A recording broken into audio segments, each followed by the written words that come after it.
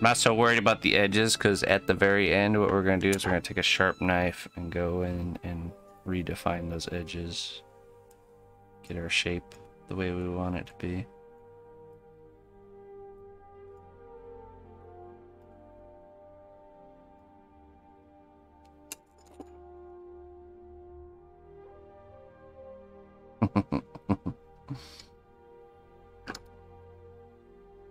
Do I sometimes sculpt little landscapes or dioramas? Sometimes, yeah. Um, I do some sort of base uh, with every character that I make to kind of help tell the story or help bring it to life.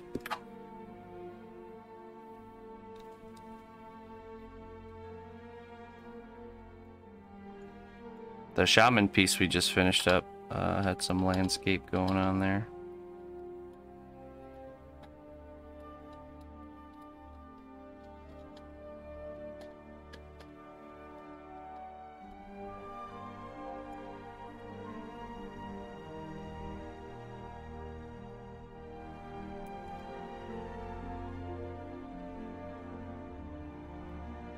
Okay, so now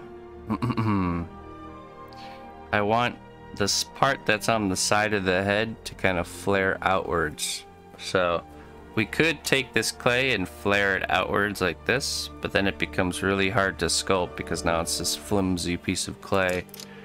So what you do instead is you just add on top of that. So that way there's an understructure supporting it while you're sculpting it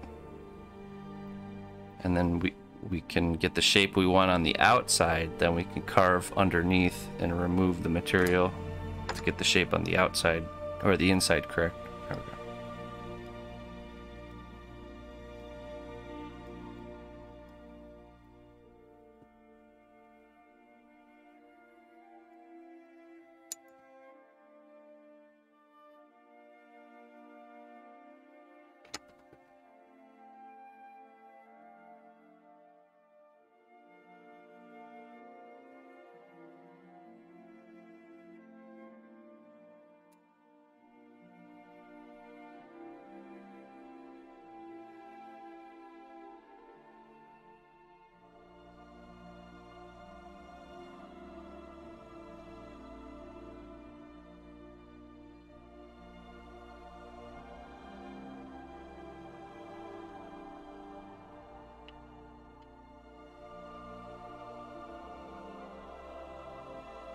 it's getting us in the right position there.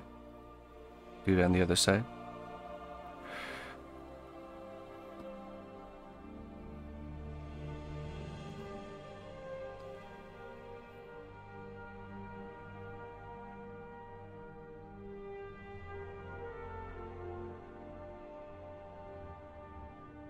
Now, in the beginning, when you, especially when you make a helmet or any sort of piece of armor, the first step is this. It's always to get the overall shape looking good, and then then we can break it down and do like uh, details. You know, adding little rivets and uh, making little areas have like engravings or whatever. However you want to design it. Most important thing is to get the shape that you want first.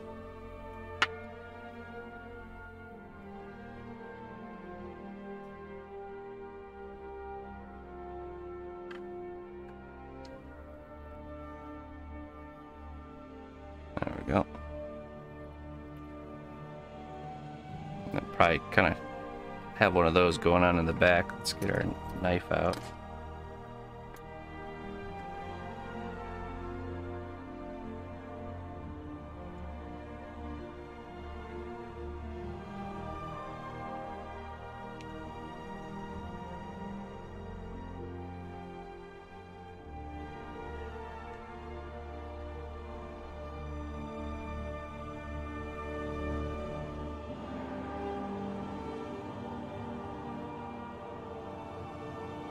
I think I'm gonna round the edge at the top here. Like this.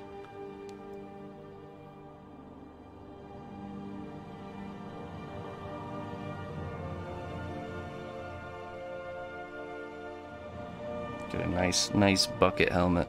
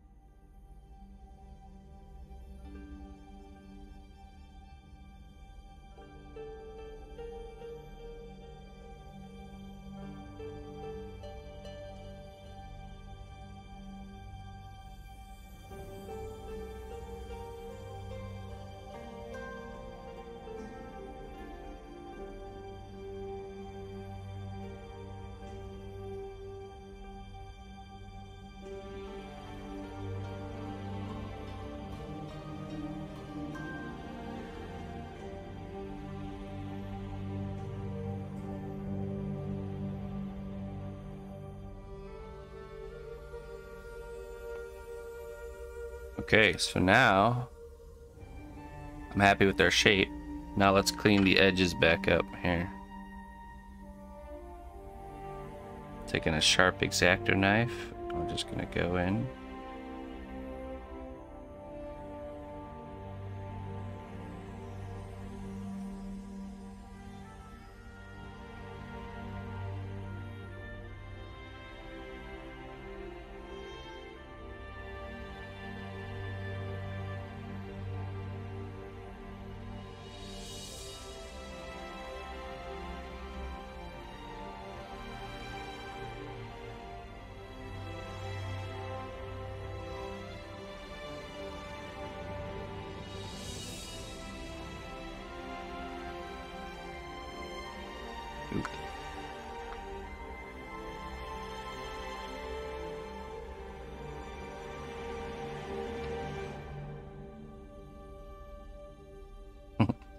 Almost looked like a tuft of hair. We probably could have kept that there.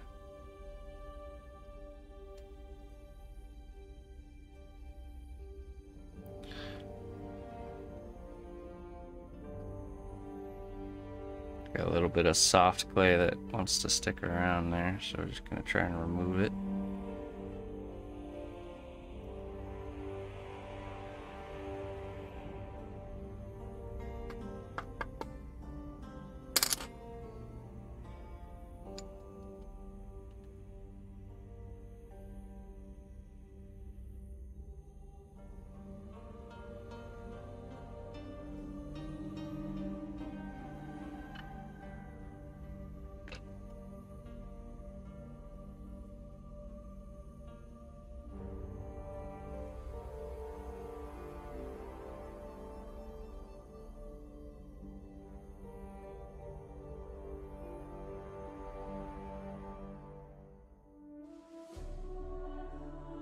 Gonna have it come up in the back where the neck is and kind of round out there a little bit. So he can actually bend his head. Almost like a football helmet.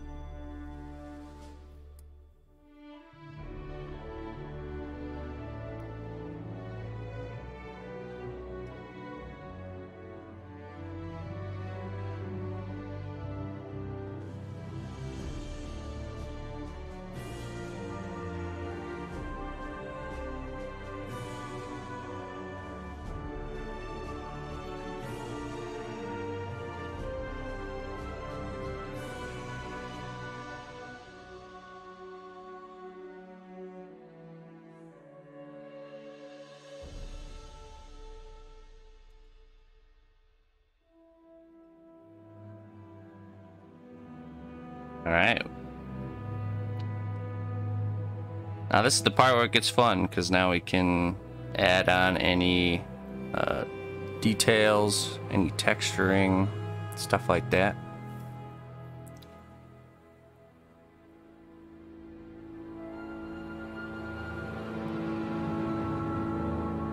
Let's see, how do we want to do this?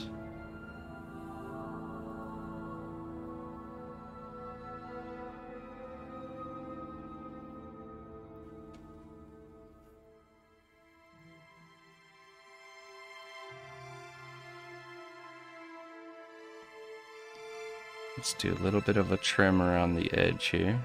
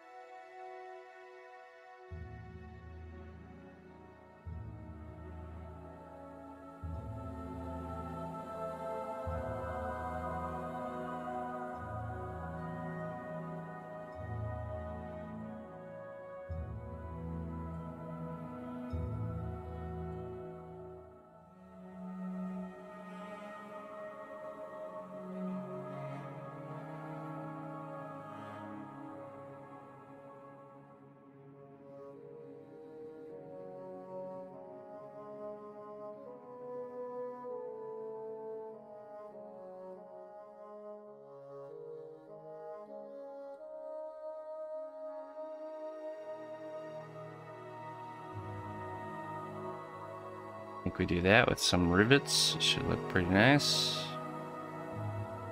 I don't want obviously this isn't this isn't like a really elaborate kind of character. So we don't want his helmet to be too fancy.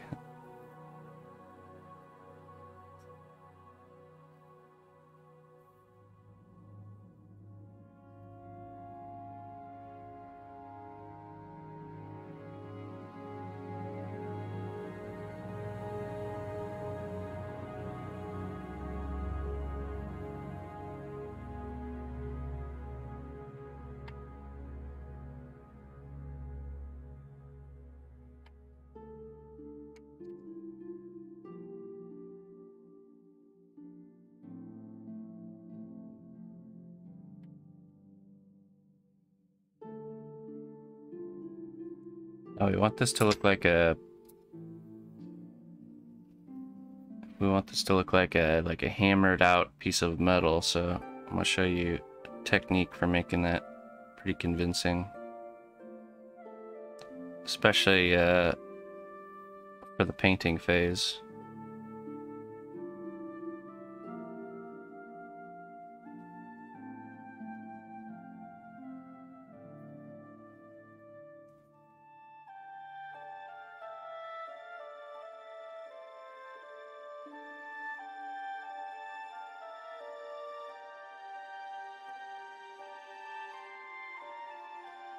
Creating a nice dark seam line there.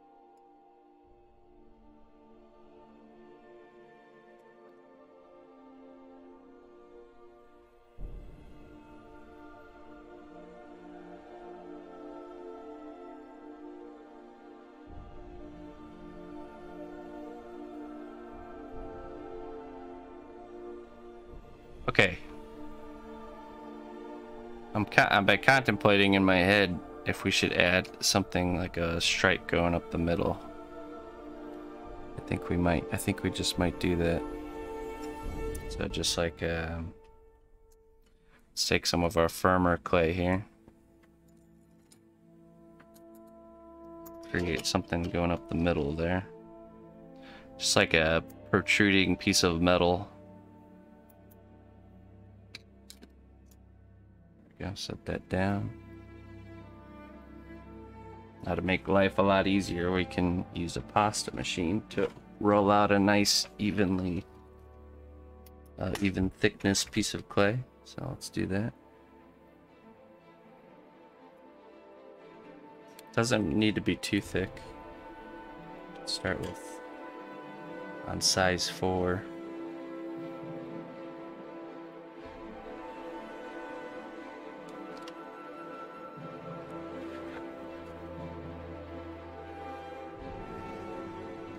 Should be good. Alright. Should be long enough too.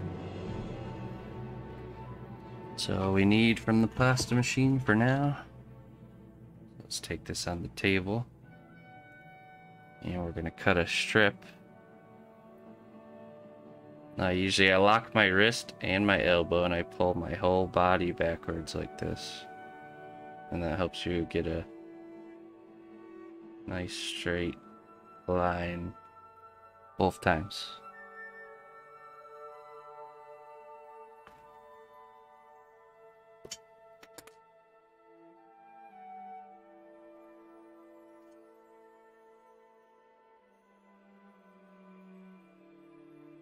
Yeah, let's put this like that.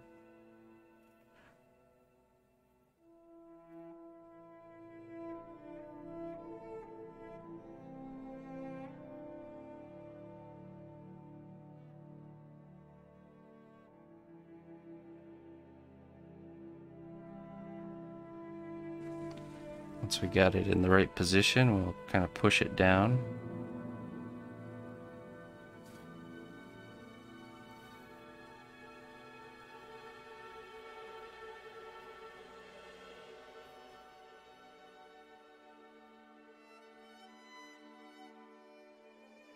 Uh, Naruto is in the painting stage, um, but we have to make a second character for that piece be working on it on Tuesday and Wednesday next week. To tune in then to see what's what the progress is looking like.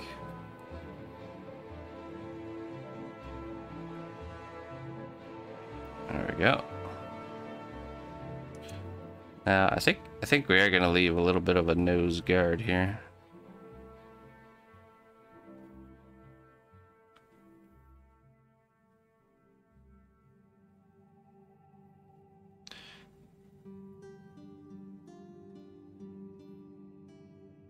Okay, now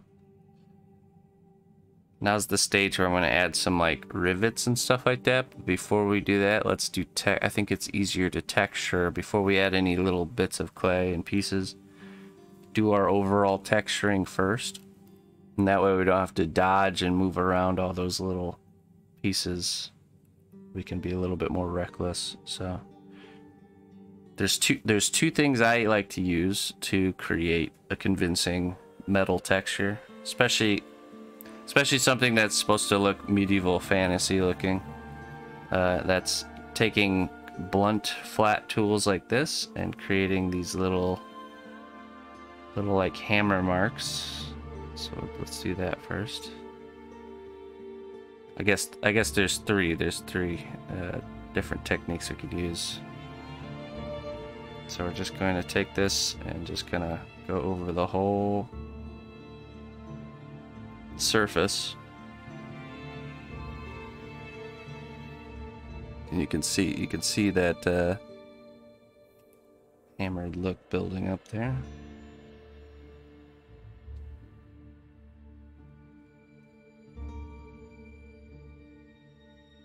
You can use more or less of this. The more of this you use, the more rough it looks, you know, and the less you use, the more refined something will look.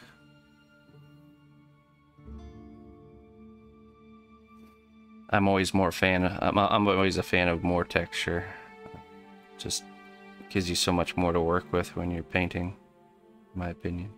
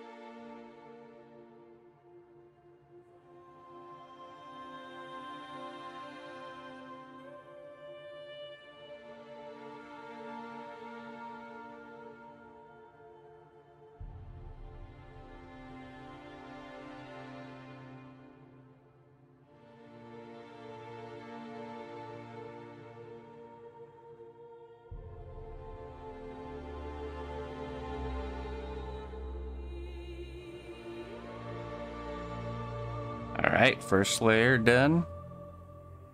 Next, we're gonna take more. Next, we're gonna take uh, these ball styluses. We're gonna use two different sizes: the lar a larger one and not the not the smallest, because we don't want to create too uh, sharp of dots, but we want to make smaller dots too. So, so start with the larger one, and I like to think of this as like if you look at metal that is corroding or kind of uh, really old, it, it develops these kind of like pores or, or, or um, yeah, like pores or corrosion in, in the areas where essentially you want to think of like if water was to dump, be dumped on this, where the water would settle. So, so you know, like usually where pieces of metal meet up, uh, you'll see a lot of this like pock marks. So we're just gonna start with the big one first.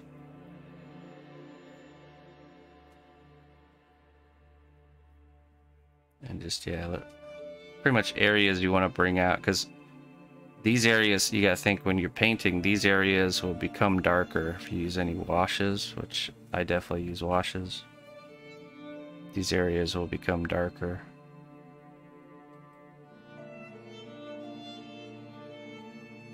See that? Pits. There we go. Pitting. There we go. That's the word I was looking for. Thank you. And we do use the smaller one in these harder to reach areas. This just gives us a variety of different uh, textures going on.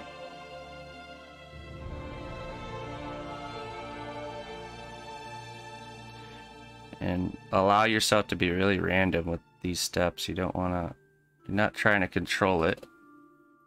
Controlling it to a certain level, but not too uh, crazy. Mm-hmm.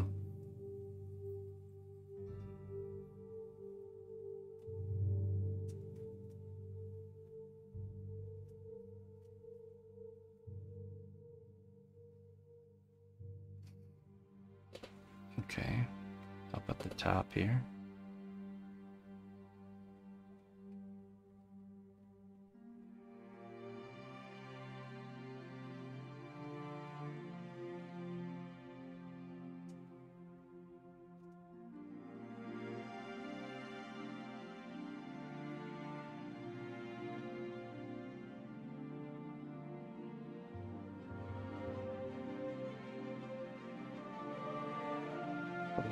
Random ones all over.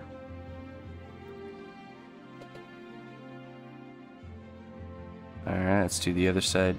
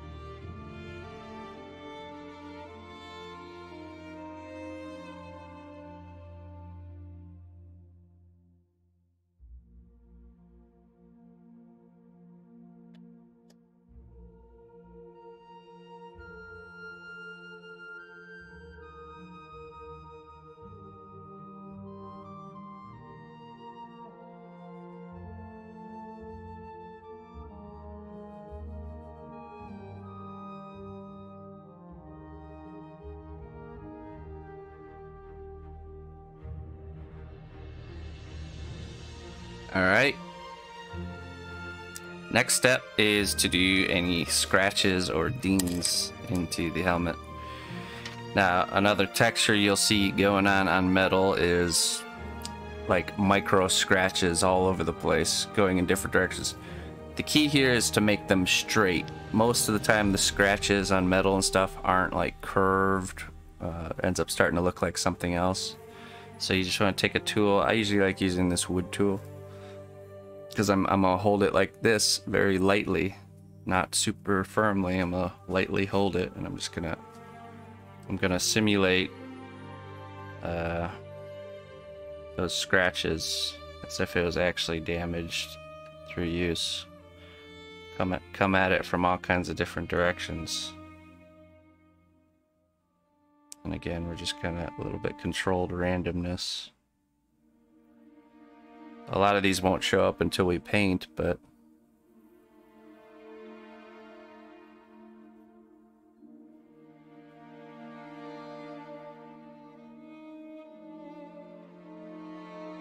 This is the part where you want to think about how how uh this helmet would actually get damaged, you know. Usually it's the edges. You just kind of focus from the edges and strike the different edges from different directions.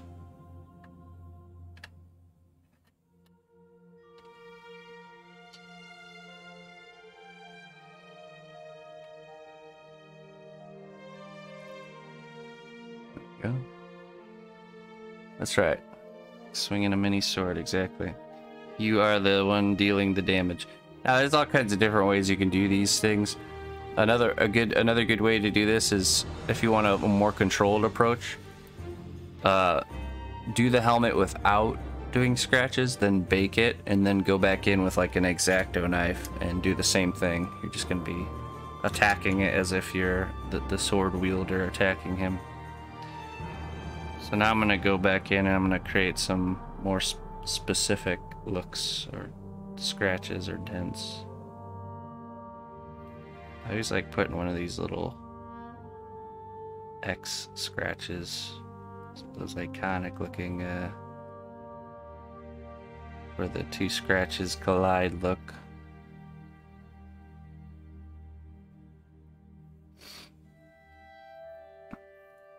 Yeah, right. don't, don't kill your character. Not yet.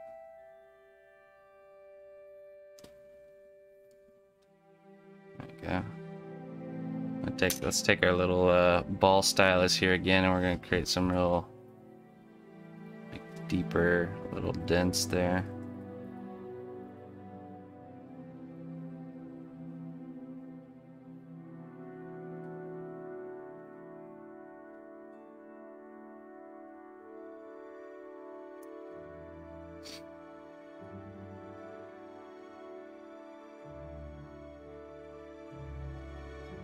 That's part of the story building too you know like you're asking yourself in your in your mind like okay what what attacked this guy you know like what made these dents and these scratches? And it can really help you come up with some good ideas to make pretty original character you know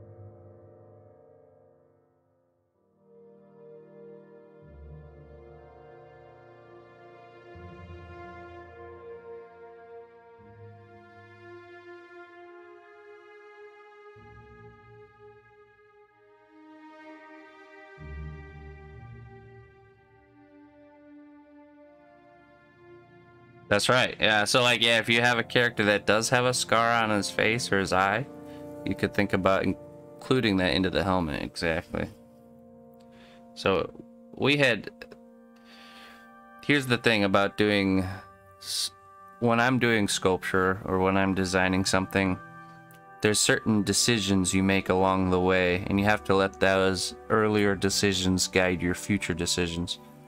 So, yeah, like it, so like this would be a perfect example that I decided not to put any scars on his face. His face is finished, so I mean, I could go back and like carve it and resculpt and add the scar if I really wanted to, but here's I already made that decision and I'm moving on uh, to the fact that there there's no scar on his face. So, but if there was, then you made that decision and now you're gonna add it to the helmet. You know, so it just kind of like builds off builds off of itself. It's the same thing. So like normally I would have a normally I would have um a body to this character and the body would dictate a lot of what the head will look like. But since we're starting with the head, it's going to be reversed, where the bo- we're going to shape the body around the head we've made.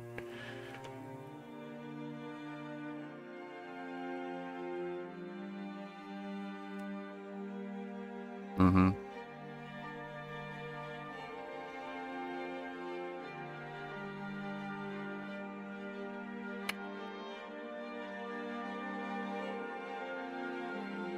That's when your your own designs and your characters will start to kind of develop themselves in, in a way, you know, if you're just focusing on the small decisions in front of you. You end up with something pretty cool by the time you get done.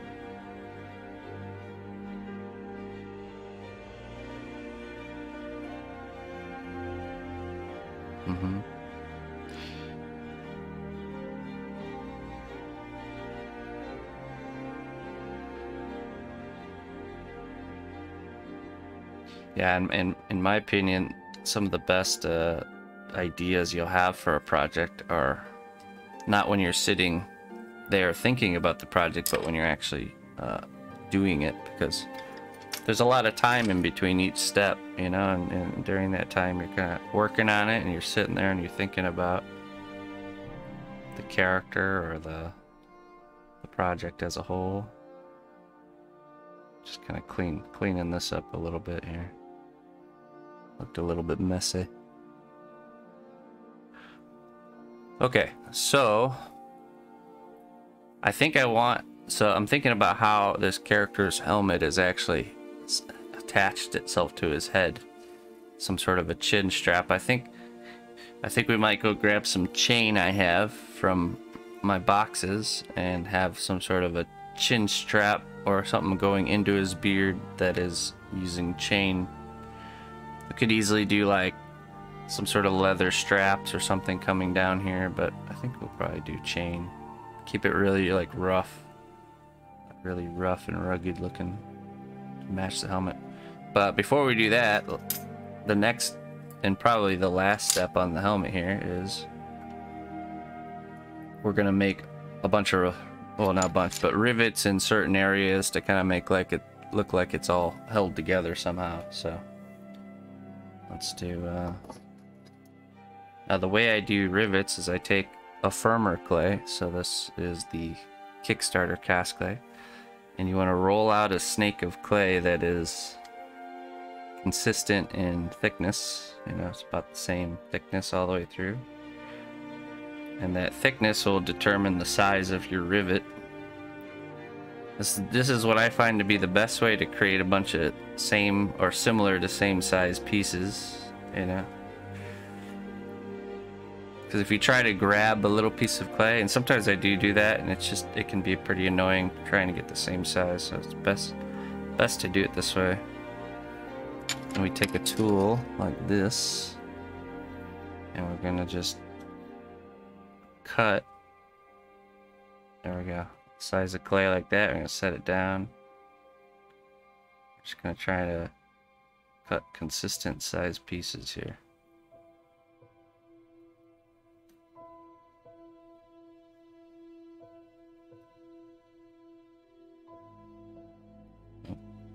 It's too big.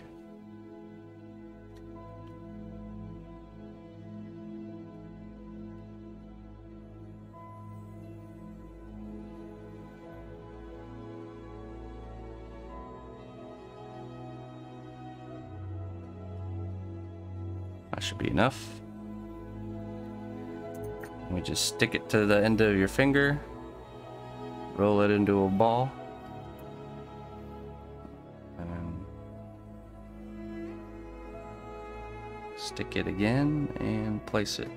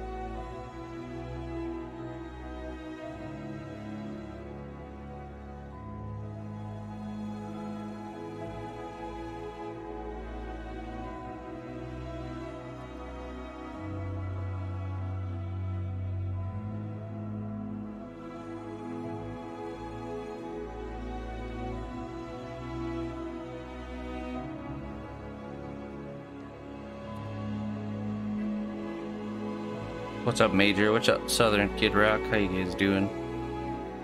Looks very medieval. That's what we're going for. This character will really come to life when we add the beard.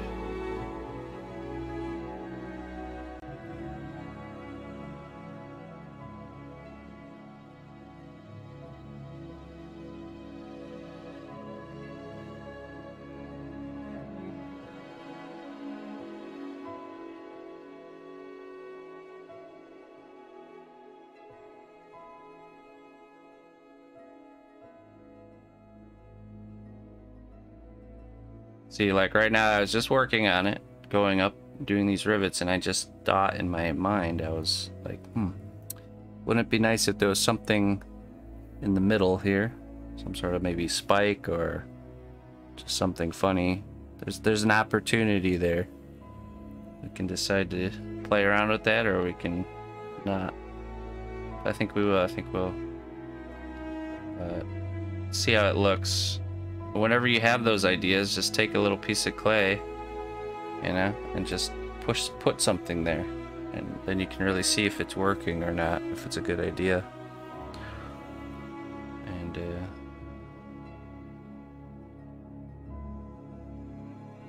yeah.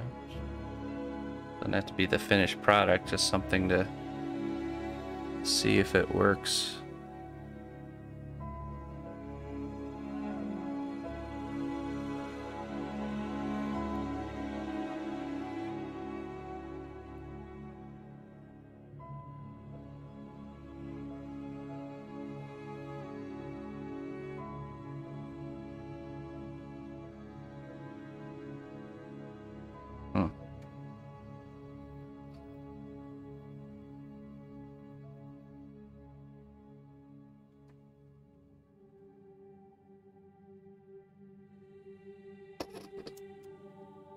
What's up, Professor Pi? Good to see you, man. Yeah, I think we'll keep. I think we'll keep it. Let's put it. Let's put a little, just a little metal spike there.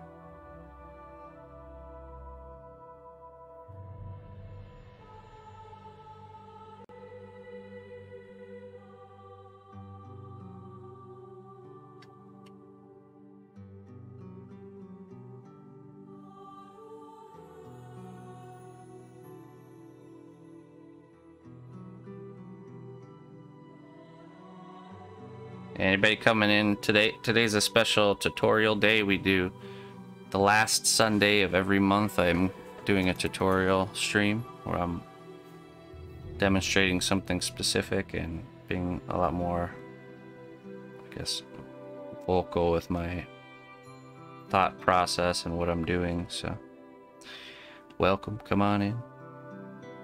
Might be a little less interactive with chat today, though. So. Uh, apologies.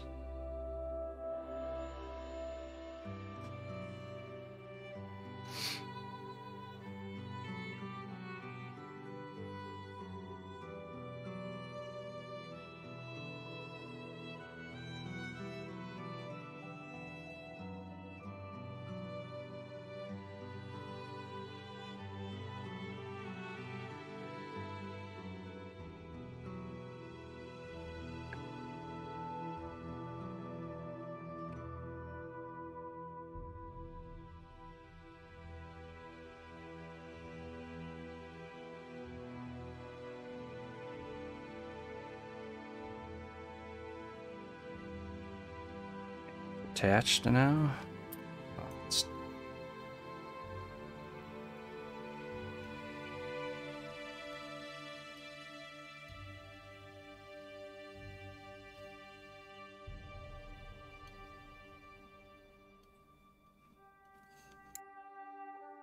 Yeah, we did the first, last month we did the first episode of this, and we sculpted the face, the character's face.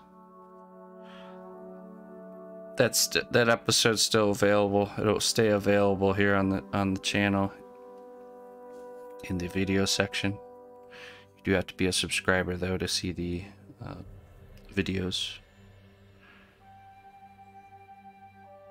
It's one, one of the one of the new one of the new perks.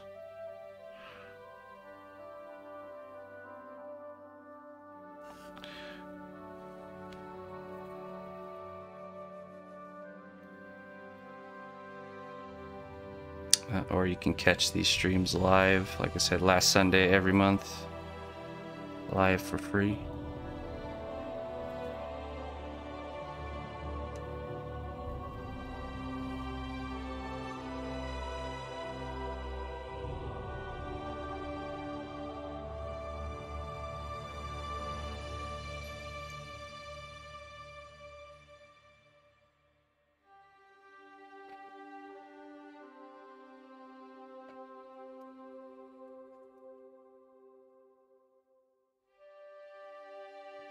Texture under this spike here.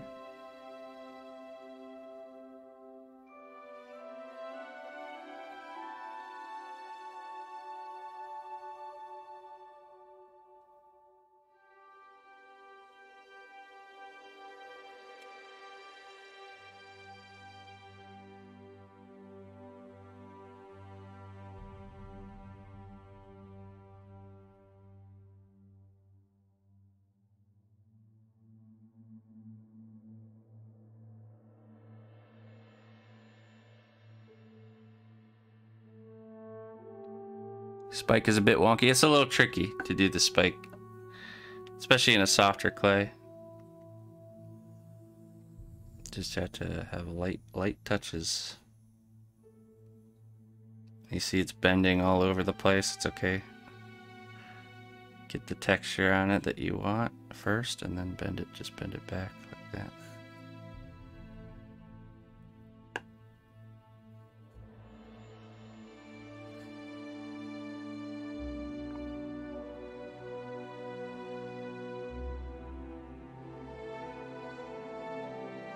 If the spike's not working out for you, you can also just remove it. It's, it's your world, you can do whatever you want.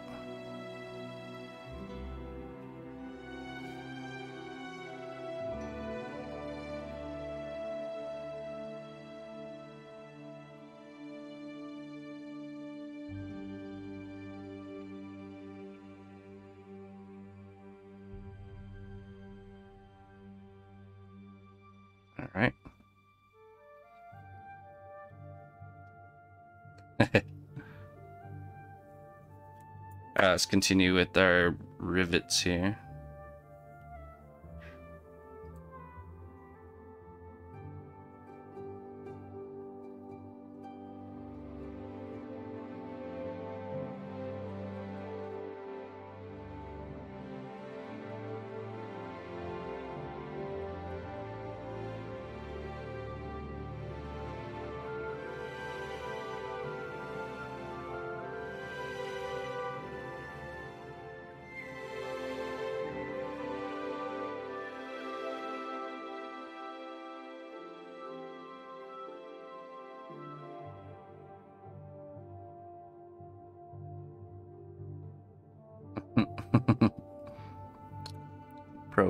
Tips by uh, Major.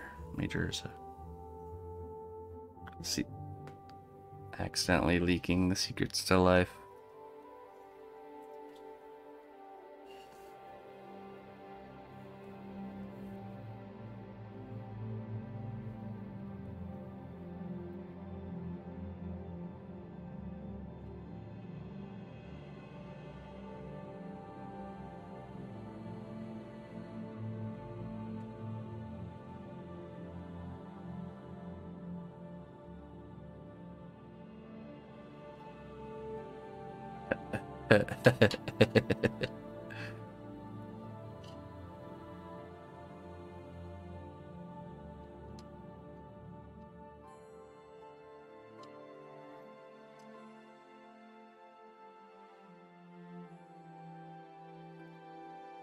Alright, I'm gonna add a little bit of a scratch right here.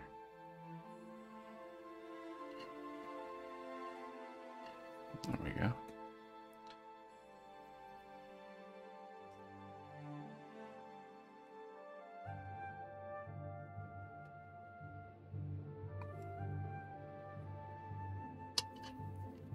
Good morning, Ayla Kiddo.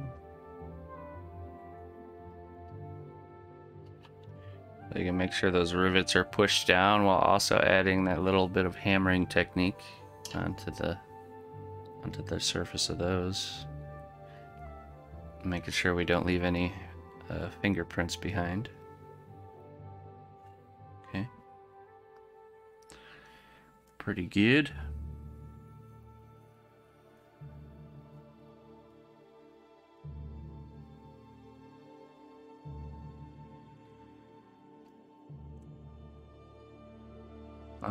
I don't want to go too crazy with this helmet. Again, I want it to be kind of like a real simple, like almost like very low ranking guy in an army's bucket helmet kind of thing, you know? So next next thing we're gonna do is we're gonna move on to the um, the beard or what's going on around the helmet. Um, so probably normally I would say we put this in the oven and we bake it first, and then we start sculpting the beard. We might actually just do that. How, how long? So it took what? It took us about an hour, 19 minutes for the helmet. Hmm.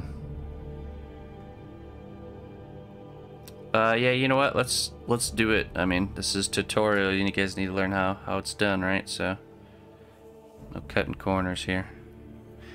I was gonna try and we could still continue and sculpt the beard onto this, but the problem is, is now you have to be very careful not to touch the helmet. And it's gonna be so much easier if we can grab the helmet, hold it upside down, and then sculpt the beard. Um, so, in in my experience, I've learned that uh, with working with polymer clays, it's better to do more uh, layers split it up into as many layers as you can because it just makes life so much easier. Yeah.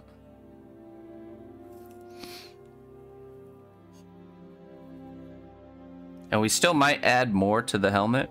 Uh, we can always add more.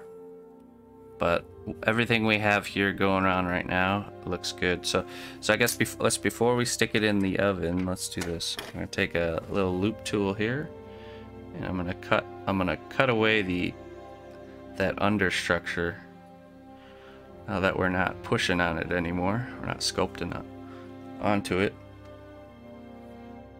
And this will let us sculpt and kind of put the hair underneath the edge of the helmet and create a really nice overlap.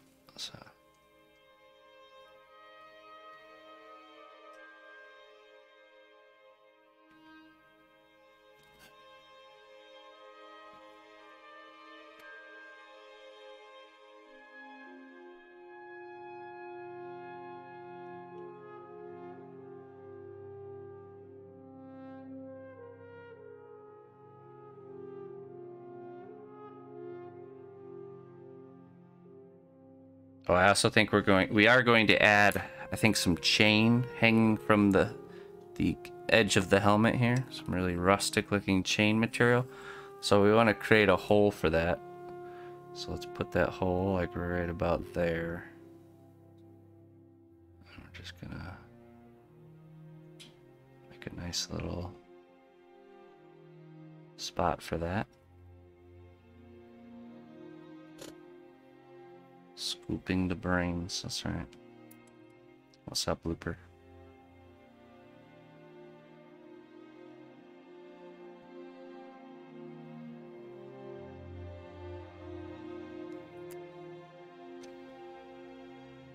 Let's do that on the other side now. Right below the cheekbone here.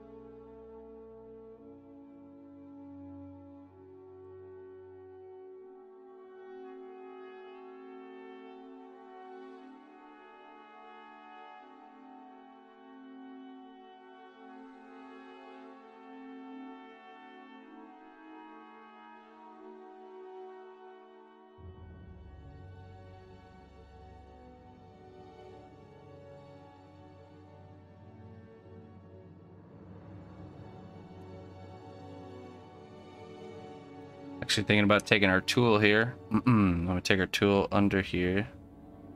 let's fl let's flare these out a little bit more. Let's, that we are done. Let's just push this out. So we can still keep all of our surface texture and detail. We're just kind of moving it, moving it around there. There we go.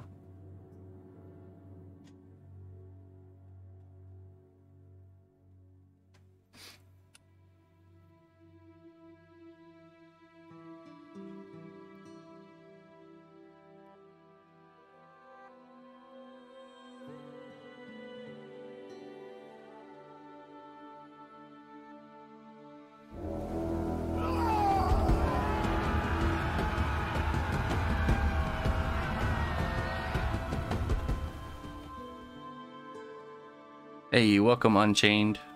How you doing? Thanks for jumping on in here, man, with your people. You're doing a tutorial uh, today. So come on in. Sculpting character helmet and beard onto our face that we made last time. See a little fingerprint right there. We're going to get rid of that just by Touching it with the tool there.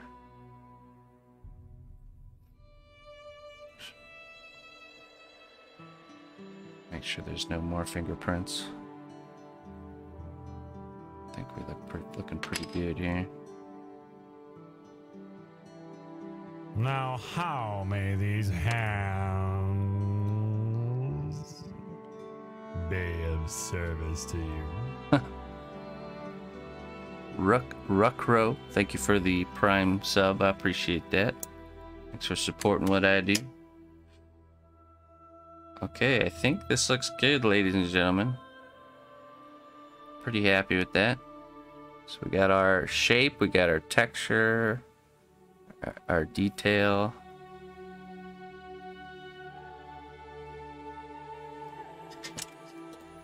Got everything prepped and ready. So now what we're going to do is we're going to take this like that. Should stand in the oven just like that, just fine. We'll put this in for about, probably, uh, yeah, probably about 20 minutes. We should do about 20 minutes. And we're to do two, 275 degrees Fahrenheit for about 20 minutes. And then we'll get, we can pull that out and we can cool it off. We can just dose it under douse it underwater so we can keep working. So let's do that.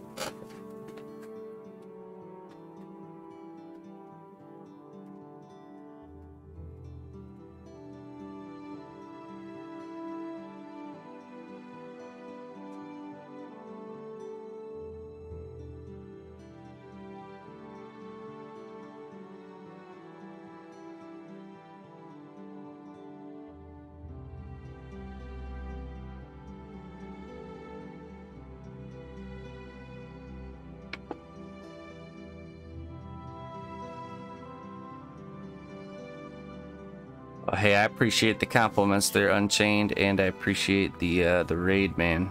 Thanks for sending your people here. Um, not an art guy, but found this rather intriguing. Happy to support with my free money. Well, I, appreciate it. That ends up as real money for me, so thank you very much. oh, man.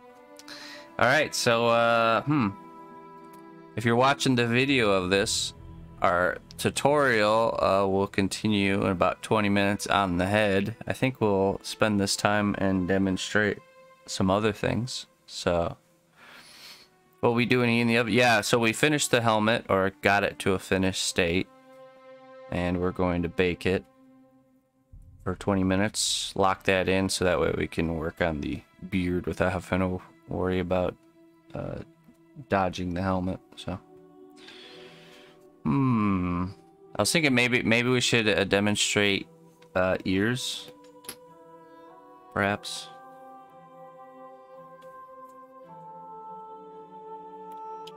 Because we didn't have to show ears with this current head, so. Yeah, you know what? Let's do that. Uh oh. He exited.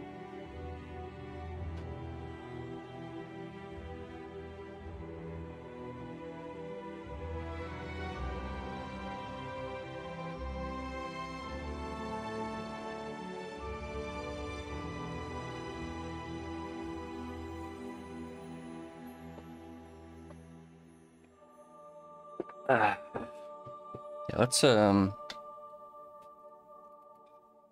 I don't have a head. I don't have a head that needs ears right now, so we'll just sculpt an ear onto a head shape. Let's do that.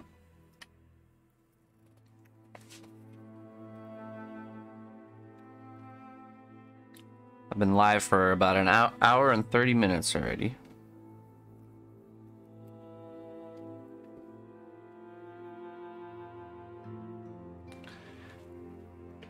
All right, here we go. So let's let's create our general head shape. So, so, ears is usually something I also do in this phase of sculpting. So we let's pretend like we have a head here that's fully sculpt or the face is fully done. The face and the jawline. And now we're we're creating a character that we can see the ears on. Let's just create a rough head shape here.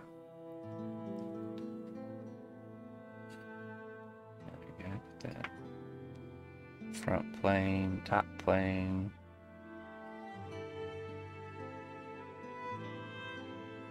Gotta get that jawline separation there.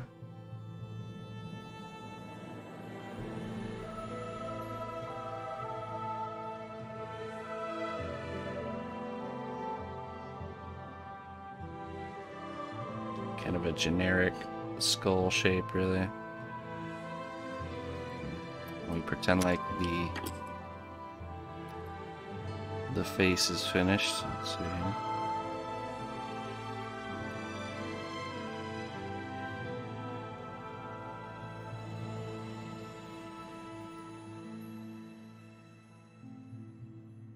There we go. Finished face.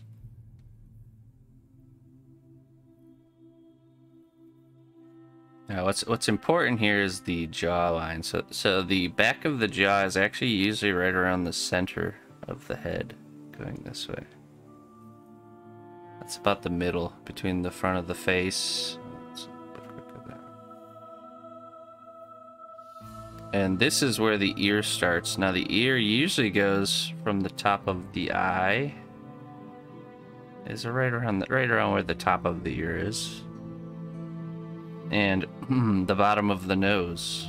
So I know that's the mouth, but that would probably be roughly where the nose is. Is usually where the bottom of the ear is. So you can see we've already created pretty much a general shape on where the ear should be and what size it should be, right? Just by knowing those few things. It's probably a little bit too big, but... So, what I usually do is I take a piece of clay like this just going to stick it there like that.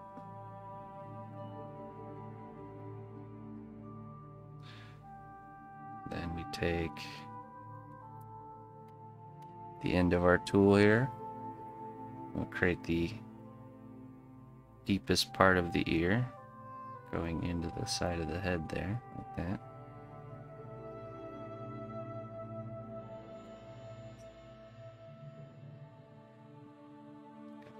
Earlobe. Thing about ears is they're different. They're the shape of them is very different depending on the person you're looking at. So you just gotta look at reference.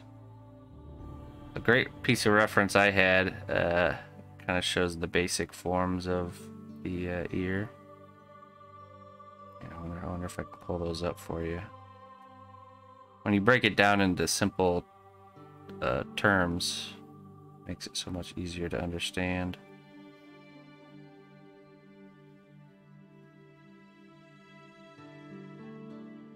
Of course, if this is like an orc or an elf or something with pointy ears, you have to adjust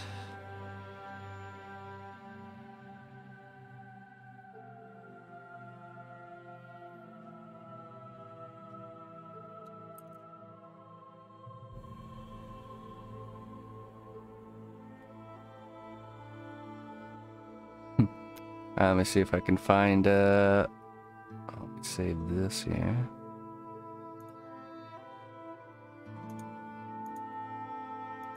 I have a, I have a piece of reference which will kind of help you guys see the forms of the ear.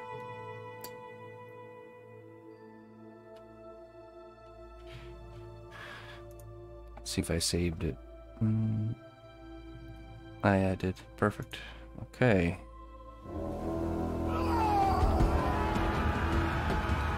Nine nine nine pickle. Hey, thanks for the raid. Nine nine nine pickle plus. we're going. We're going over how to sculpt ears right now. This is this is tutorial day or demonstration day. Alright, check it out here. Uh, wait, does this...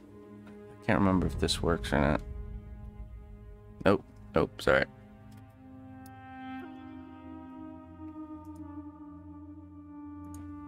I think it's... Is it this? There we go. Okay.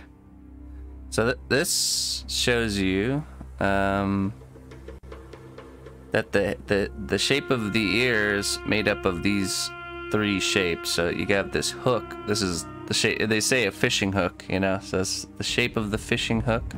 Then you have this little y here. Then you have the little part that sticks out right there. That's where the hole goes. So and then you can see it shows it the ears from the side too and that they kind of like pull away from the head towards the top and they hug up near the bottom. So. Mm-hmm There we go. Reference like that is is if you if you look actively look and use stuff like that, that that is definitely how you grow as a sculptor or, or, or any any sort of an artist really. So okay, use your reference, ladies and gentlemen. So we're just gonna use that. I'm gonna follow the shapes that it that it gives us. Okay. Right in there. Pulls away from the head up towards the top there, like that. Let's grab a little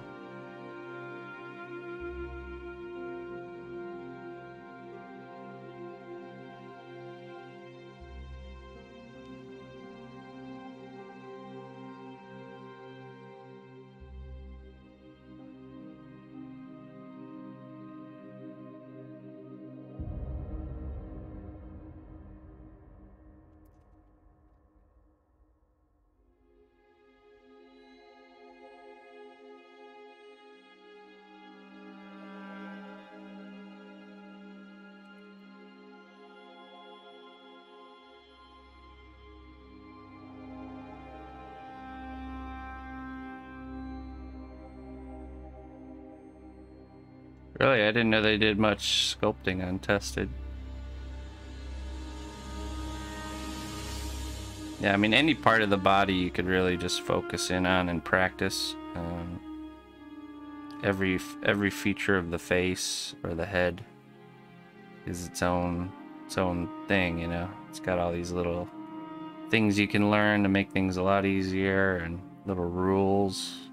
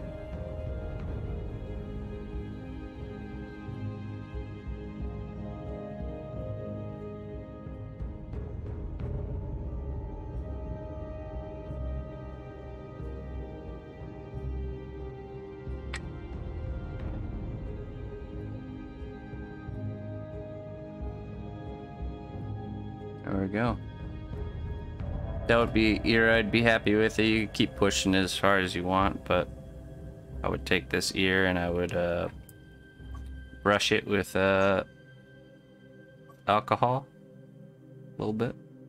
Clean it up and then yeah, you're looking pretty good here. Then, so you do the ears first and then you would sculpt the hair around the ears. So, you know, then you would put in your you know, your beard and your, if it has a beard or hair or whatever.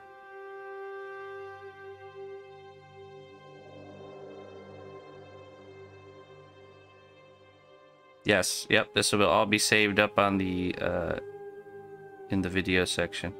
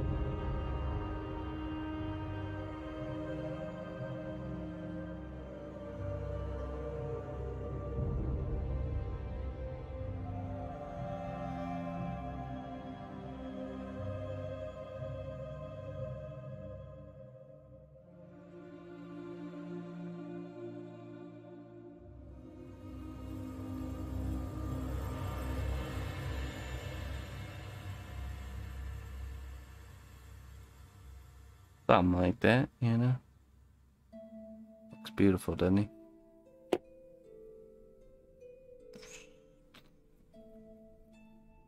There we go. That is ears. Little snippet of ears. I made you, ask that's corn. Sculpture of corn.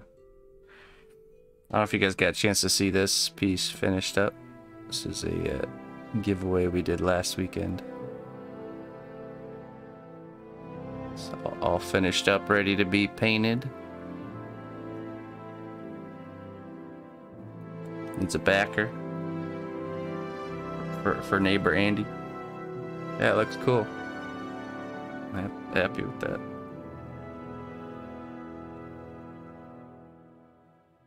What's up, Foxter? Rigged.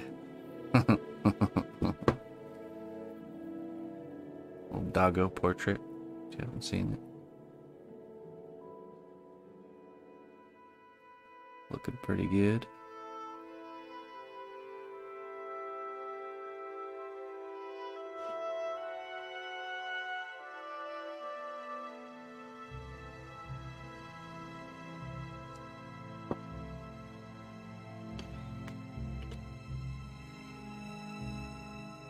Yeah, I'm not gonna go too crazy with that there, Mr. Corn.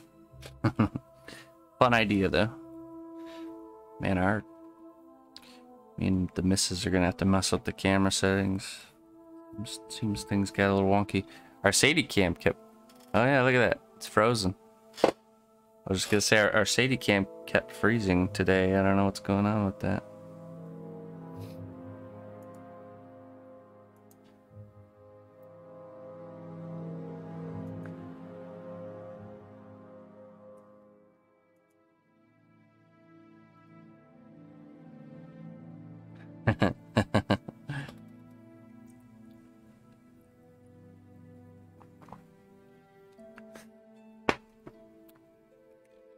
We got about 10 minutes left.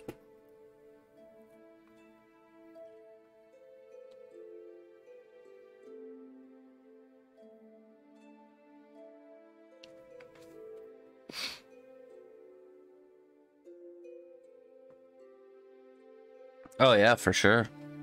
Yeah, I watched uh every once in a while I'll go on like a binge and go watch like a bunch of the tested episodes just to see what they got going on. There's always there's thing about this this type of uh and most most types of artwork, but especially this one, there's so many different techniques and tools and materials. It's a real, it's a real never-ending um, uh, learning. You know, you never, you're never done, never done learning and trying new things. So, and as you're learning and trying new things, certain things will just kind of stick with you longer than others. You know, so and that's how your style, your style ends up kind of naturally developing itself that way. So. It's difficult trying to get the other ear to match. Yes, it is. Yep.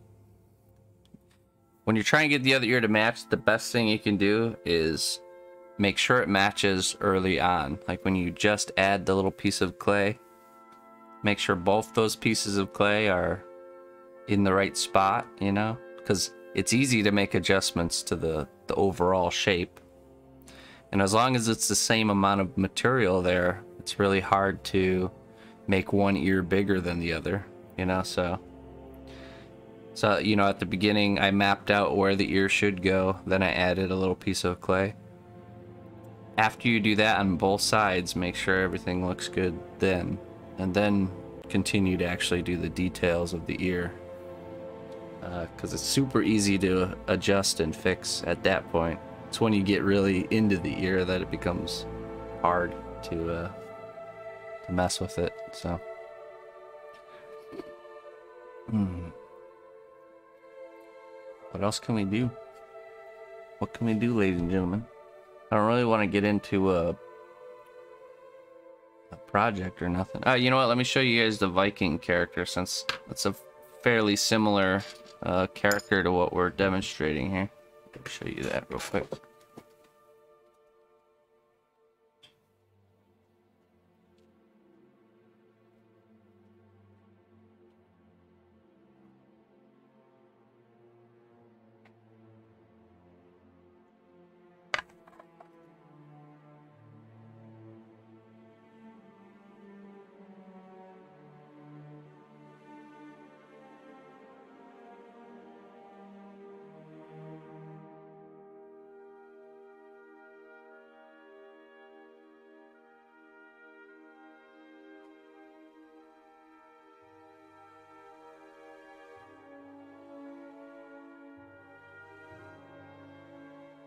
Camera froze again, man.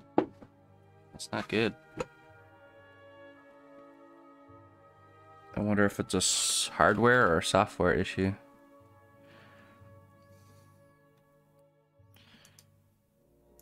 It's not happening to our face cam, so...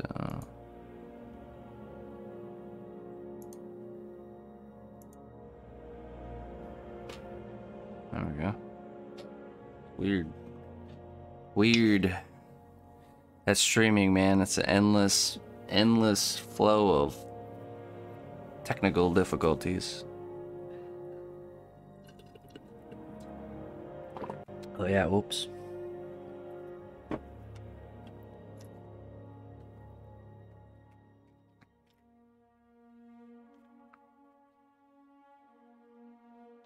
Alright, check it out here.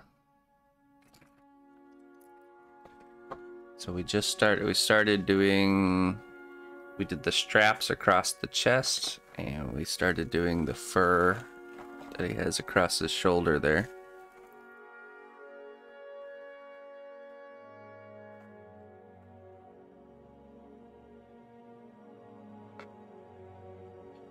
There's a nice, nice different styled helmet with a beard. We'll be getting into the beard next on our uh, on our tutorial piece. Then we sculpted his um, his axe here.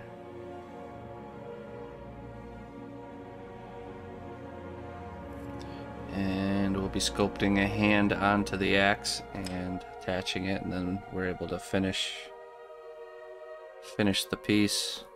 Pretty much have to sculpt the arm, the armor. Um, yeah, there's not much, not much left after that. It'll pretty much be the the arm, the last arm in the armor is pretty much the last big part, and then Yeah. Base building and painting. Is the only thing left to do at that point, so.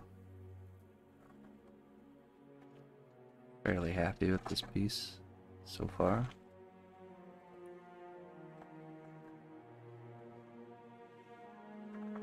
So I think for this head, what we did is I sculpted the face, just like I said, um, and then when I sculpted the helmet and the head uh, and the beard, I did it after it was attached to the character to the character. So, so we had the face finished. We attached it to the body, sculpted in the neck. I think we baked it again at that point, locked it in place. Then I sculpted the beard and the helmet while it's on the body. And that lets me really kind of like make these pieces of beard really match up with the body and the, the flow of the rest of the piece. Because like this one, he's on the front of his ship, so we have a lot of wind coming in on this direction here. And uh, so we needed we needed the hair and everything to uh, uh, to represent that. So. Oh.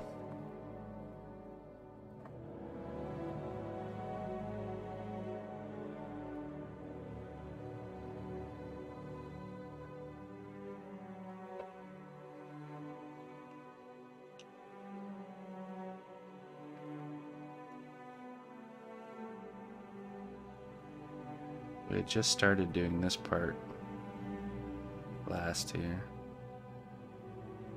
Little fur here.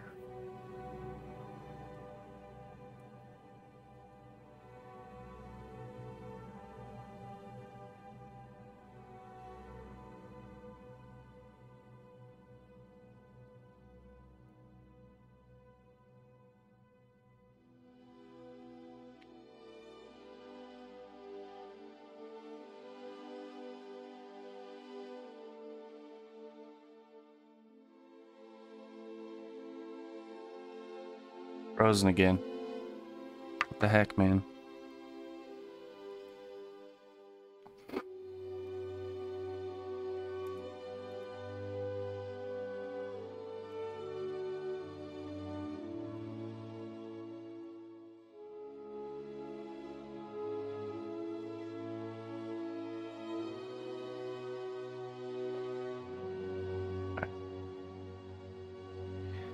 Let's go. I think it's been long enough. Let's go pull our head out of the oven and cool. We're gonna cool it off. I'm just gonna douse it underwater, cool it off real quick. It's probably not fully baked, but it's baked enough that we're not gonna mess it up. I think I'm really benefited by the break I took from my movie books project because I've learned a lot about handling the material, working in stages, etc. Been thinking about it last week and I'm quite excited to start back. I have a good idea about how to go forward and make improvements on what I already have. There you go. That's good, Mr. Frightful. That's good. So uh, yeah, you need you need to to to efficiently or effectively learn something. You need, you know, instruction and the studying phase, right, where you're just like observing and absorbing but then you need to put that into action. Because like if you just do this it, it, you're not learn you're not really getting there. It's it doesn't really stick until you start putting it into action and and then then then then it's in there you know then it's locked in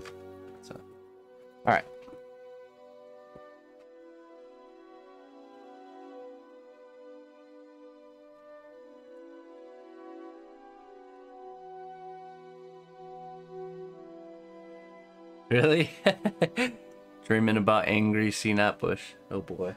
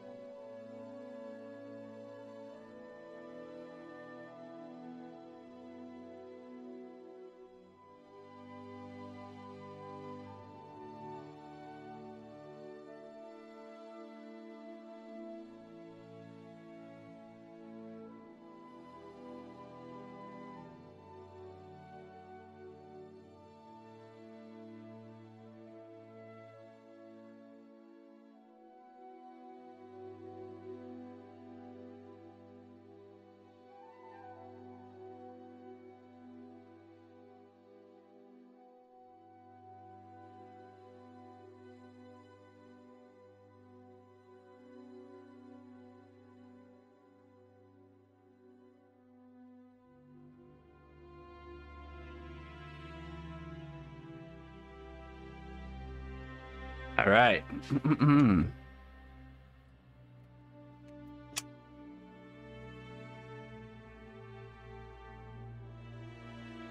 so I just stuck it under cold water after I pulled it out of the oven. Uh, it, it, there's no negative consequence to doing that, but I typically only do that if I'm in a real in a rush or in a hurry. Um, so, which we are right now. Usually it's with smaller pieces, you know. Okay. That was a good choice. Even though I did I wanted to continue the tutorial. That I mean that's part of it right there. To show you guys how how it's actually done.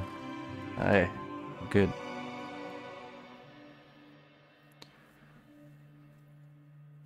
I would only cool them down with water if it's Cosclay though or Super Sculpey original.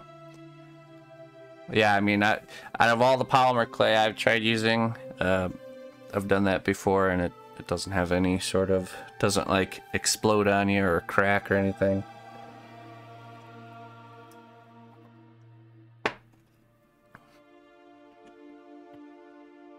Uh, interesting.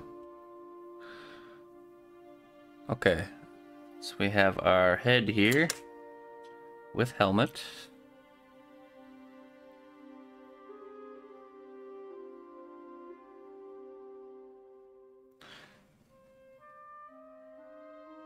Well, the water was just to cool it down. So, so we sculpted this part at the beginning here of the tutorial. This helmet we put onto our head here. And then now I want to do the beard. Beard and hair and all that fun stuff. So I just pulled it out of the oven, stuck it under some water. It's still actually a little bit warm. Feel it. Feel that it's a little bit warm still but it's cooled off enough that uh, that we can keep sculpting. So, all right, uh, let's go. Let's continue. Halfway there.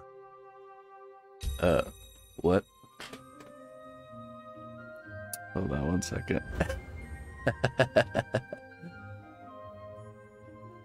Forgot to remove something.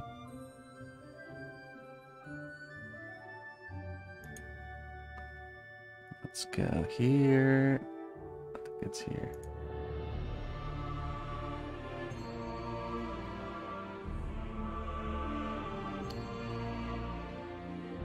Oh, that's weird. Where did that come from? Randall echoes in the distance. Randall trying to summon us back. That's weird. I didn't even have that on. Uh.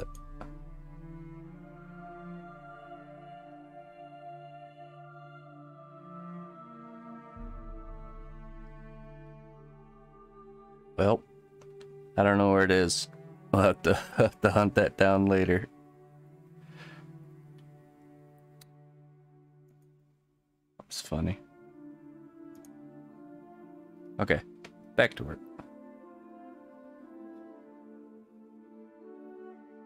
No, there's no there's no negative like consequence for sculpting and baking in phases multiple times. Alright, there we go. Get our focus in on there. Okay, so we're gonna be sculpting the beard next. So I'm gonna I'm gonna kind of mount this from the back side here. There we go. That way it's out of the way.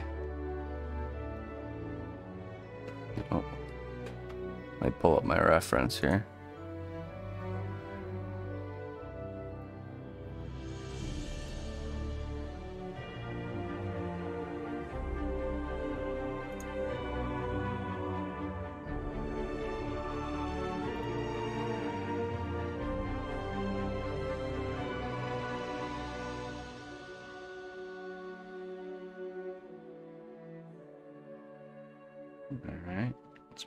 Some of our clay glue. Just gonna put it around the chin and then we'll use the brush to move it in closer to the face here. Use a brush.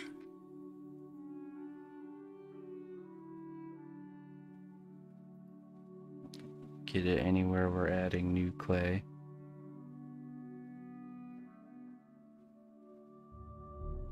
Get that mustache area covered.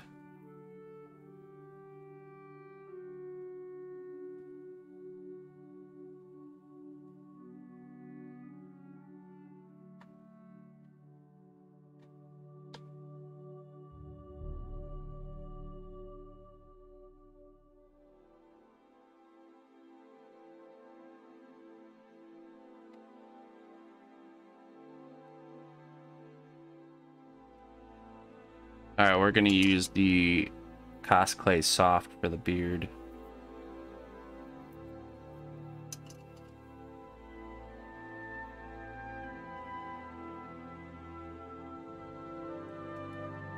First step is to add on mass.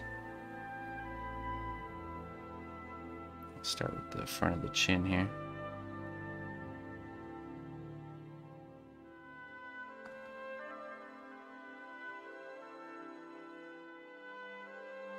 And remember, this is the time when we have to decide kind of the flow of the character's head.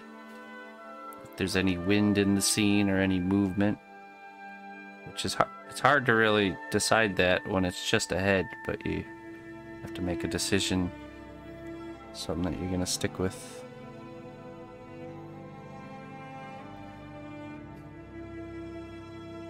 Alright, let's add a little bit of material for the mustache here.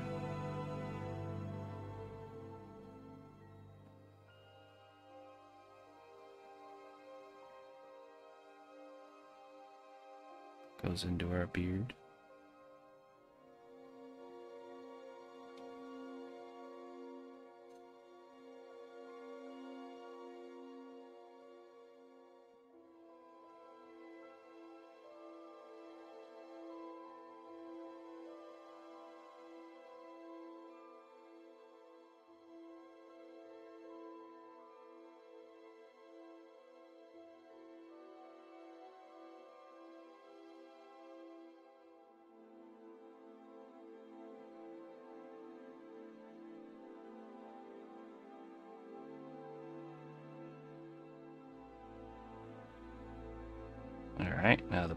Parts of this the side of the beard here. So go tucked under our helmet there. This is the part where if your character has long hair, it kind of merges in with the long hair.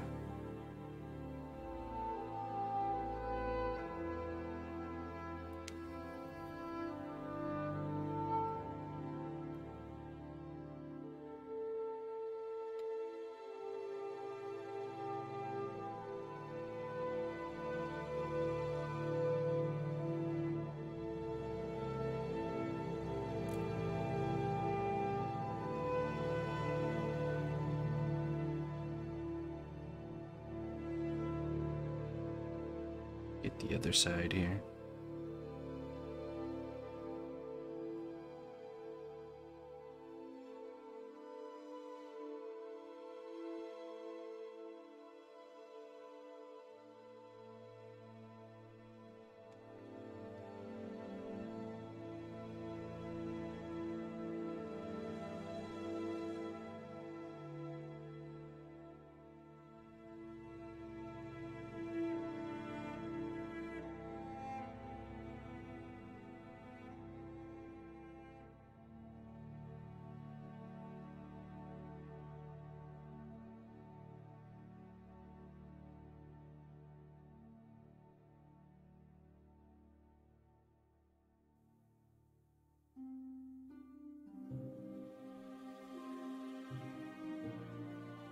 All right, now I think I want to do one of those large, like,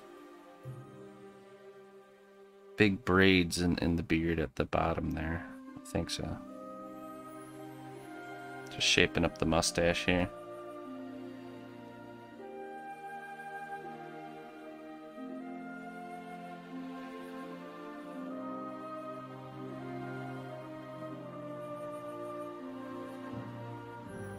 See, we're working with just shapes until we get the shape right, and then we'll add in the lines, you know, add in those hairs.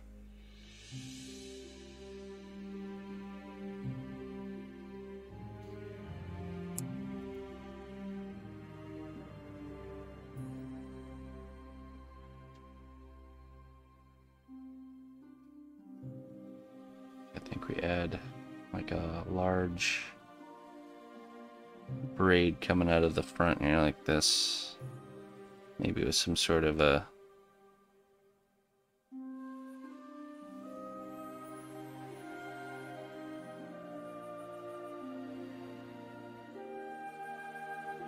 go in this direction maybe. A lot like Santa. Armored Santa. Ready for battle.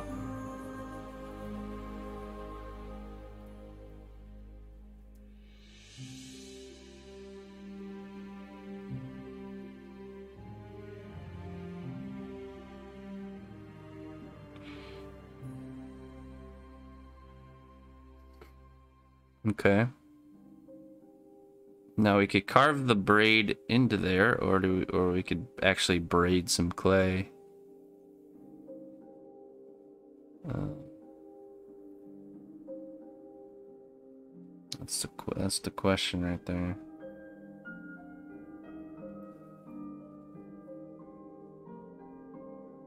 It's probably gonna be easier to just braid some clay. So okay, let's let's remove this. Now that we know what we want to do. Sometimes you just gotta slap around bodies of clay until you know what you're actually going for.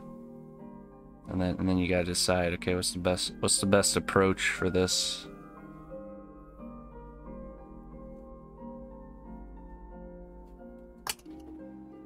Okay. Set him down. Gonna make those braids. Now we'll do this out of the firmer. It's it's gonna be easier to do this out of a firmer clay. So if you have a firmer, the option, now's the time to switch to that for this part.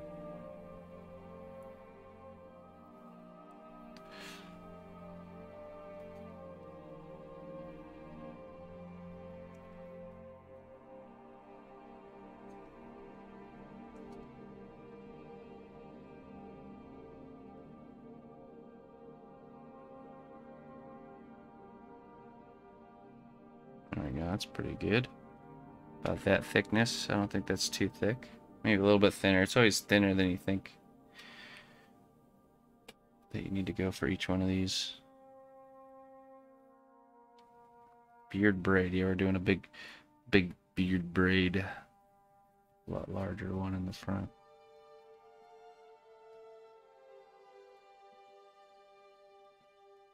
So we need to make three of these roughly the same size and length. And I'm, I'm making them so they get skinnier towards the end, just like hair would be, you know. Thicker towards the the top and, and skinnier as it goes down.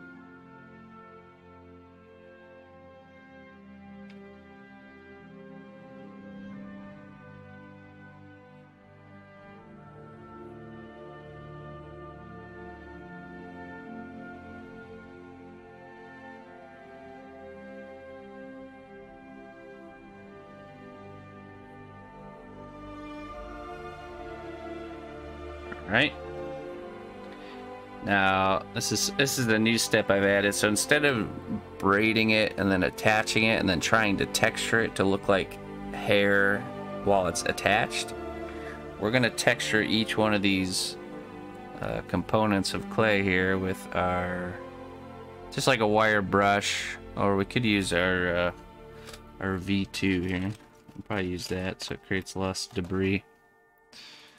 This is this is the V2. It's a custom made tool to do hair texture that doesn't create a lot of clay boogers, you know. If you've ever taken a wire brush to clay, you realize it creates some nice texture, but then it usually leaves behind all these little bits of clay everywhere that you don't want. So this, it's like that wire brush, it just reduces the clay boogers. So we're just gonna take it. We're just going to go like this.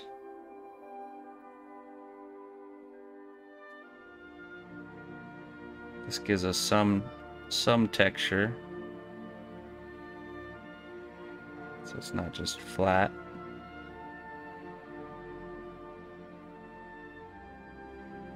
There we go. Clay boogers, yeah. It's a, it's a real thing.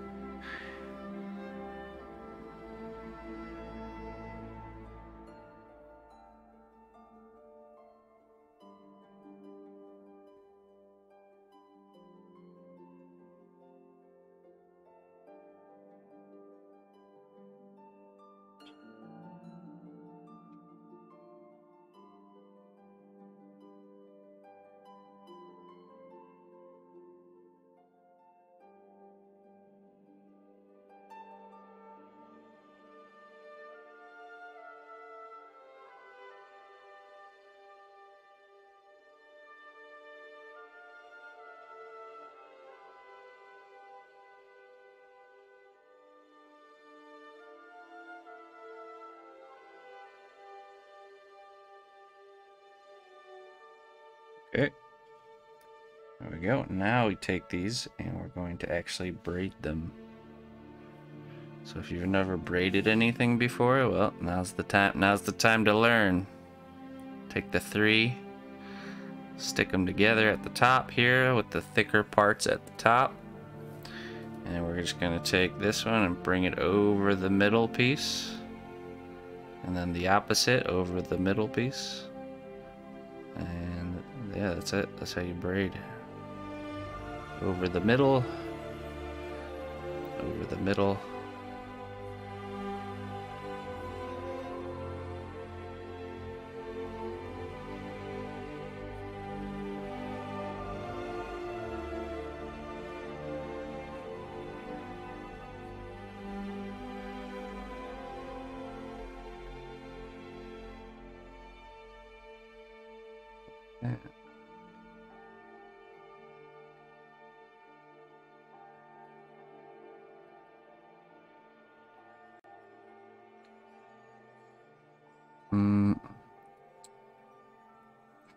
Buddy's been actually around for a, a little while, actually. Made by Mr. Stefan. I have some of it here. It's good stuff. It's very, uh, it's very good at doing really small things very effectively. It's a very firm type of clay.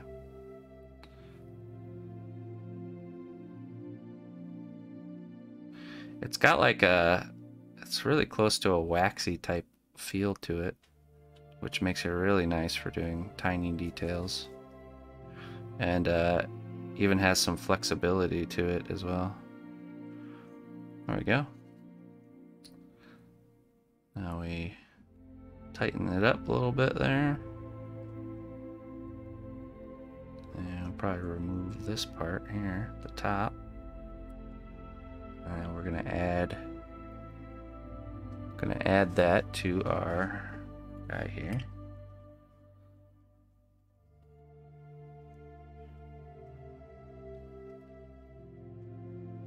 Probably a little bit a little bit too long. Let's uh let's take away a few of those braids. Probably like right here.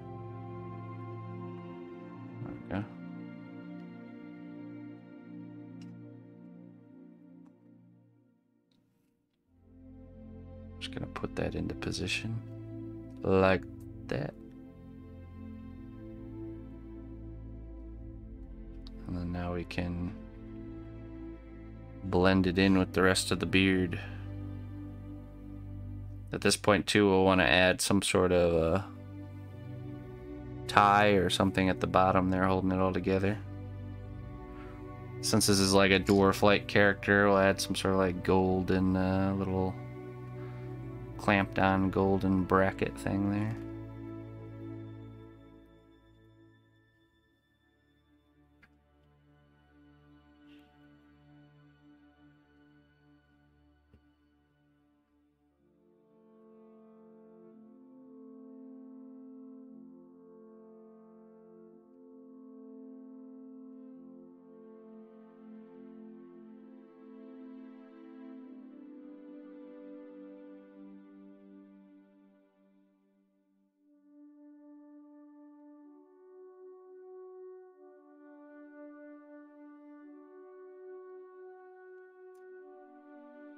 Let's add on that little bracket now, because it's only going to get harder to do the further we get along here. So I'm just going to take a flat piece of clay and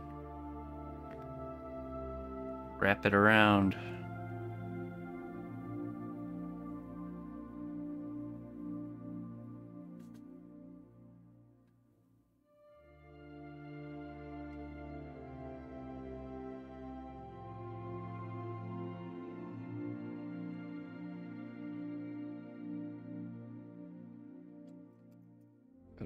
Extra.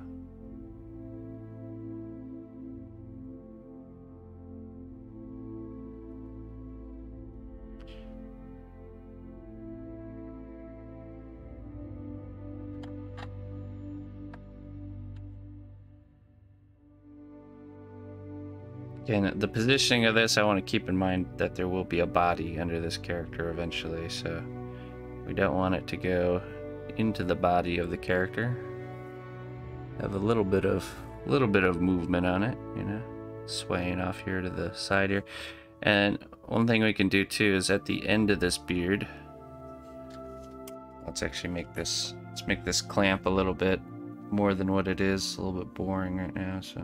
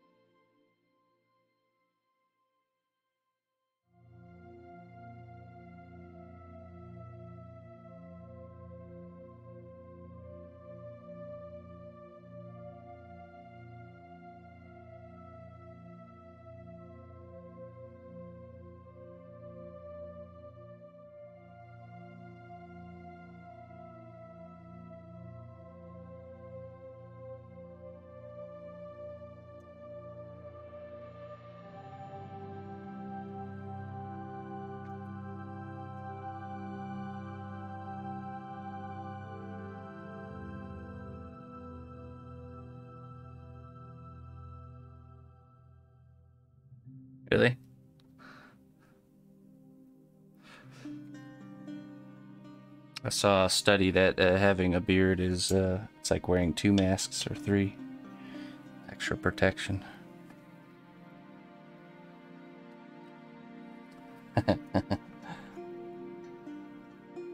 All of a sudden the stream goes offline. This content has been removed. Fact checked. Whoops. Alright, so now we're going to create some hair coming out of the bottom of this. A little bit more than what's there. So we're just going to gonna take a little...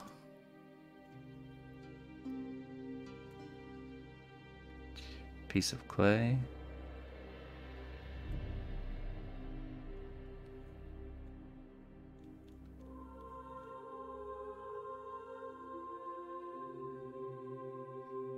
What's up, Captain?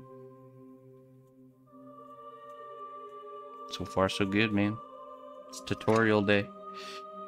Alright, flat piece of clay about that shape, and we're going to take this tool and we're going to,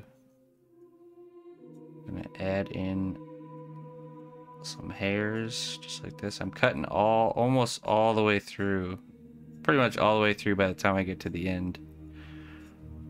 Um, dividing that piece up into a bunch of individual strands. That.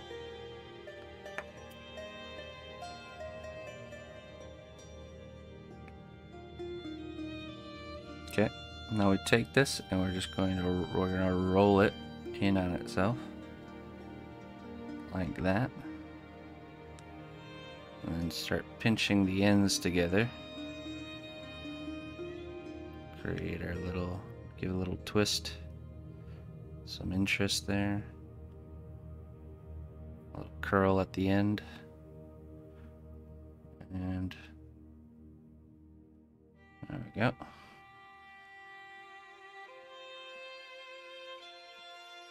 Now we take this piece that we just made and we're going to attach it here.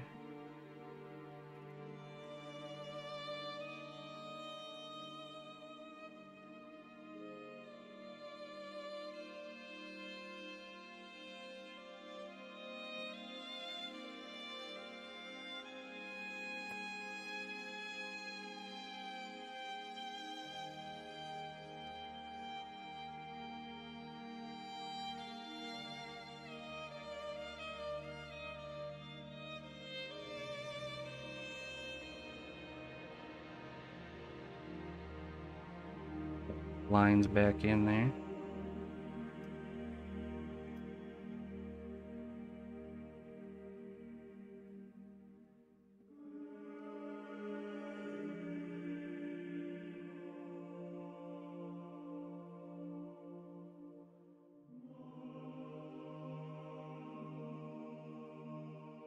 There we go.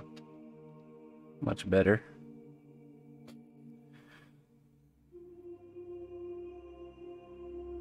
I'm your inspiration. Yeah, you gotta get past the. There's there's two phases of growing a beard you have to get past. The ugly the ugly duckling phase, where it just isn't long and it isn't short. It's just in between phase that doesn't look so good. And then the the the itchy phase. Definitely get yourself some nice uh, beard oil or some, some sort of product like that. And uh, yeah. You can get past itchy phases. That's that's the point where your beard starts growing back into itself. You know, because it grows out far enough and then starts curling around and starts poking you back in the face. I tell you though, once it gets to a certain length, you just it, it's gone. No longer, no longer an issue. And the only time I ever have itchy beard is when, uh, like, it's just been a while since I've put some beard oil in there. You just put some in and you're good to go.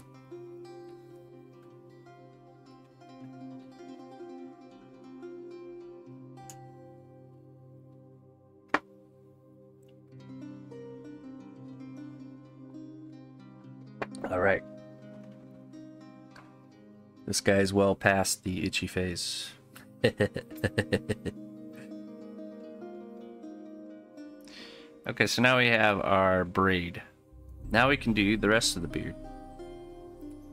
Let's start with the mustache here. So we're just going to go in and we're going to create some lines here.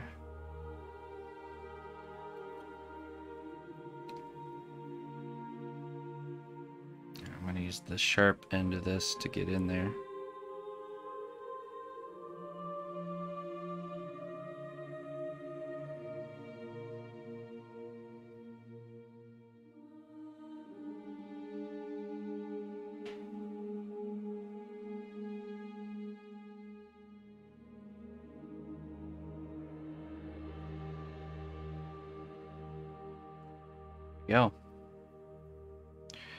You want to do full lines all the way from the base all the way to the end. And you want to get them as close as you can next to each other. Then I'm going to go in and I'm going to start controlling each little hair here.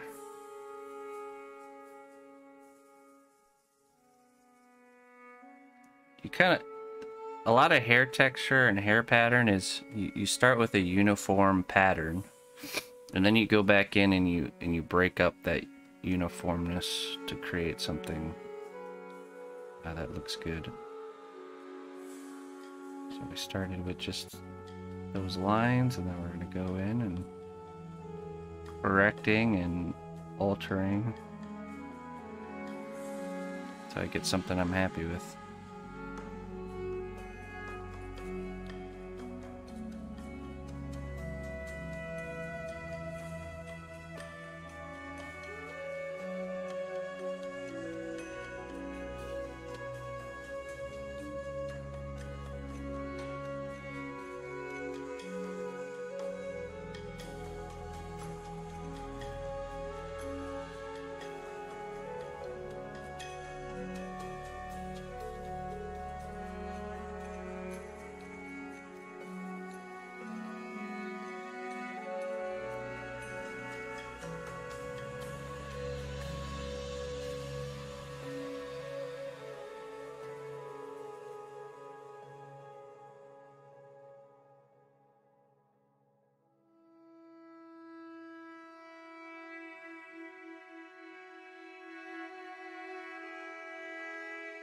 Let's go upside down to do the other side. The reason I'm going upside down is so this this side, my natural tool stroke is like that, right? But this side, you're you're doing a weird. You have to use a completely different motion to get the same thing. So if you turn it upside down, you can now use a more natural tool stroke. That's if you're right-handed. It'll be opposite for you if you're uh, left-handed. Take this side again here. Just gonna start pulling out the mustache.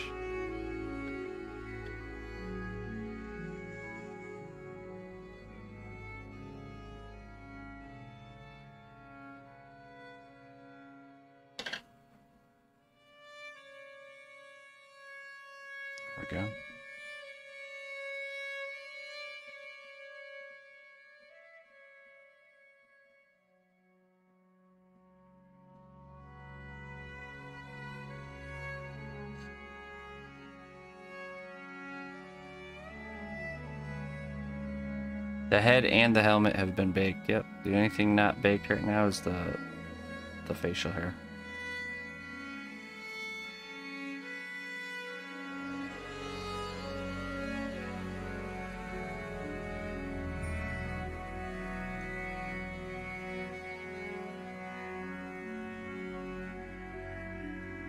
Okay, so now I'm gonna start. I'm gonna come in on the side of the beard here. See, I've already, I've already blended the clay to the to the point where it reaches the face uh, really subtly, you know, so there's not a big steep drop off here, you know, it, it kind of blends into the side of the face there.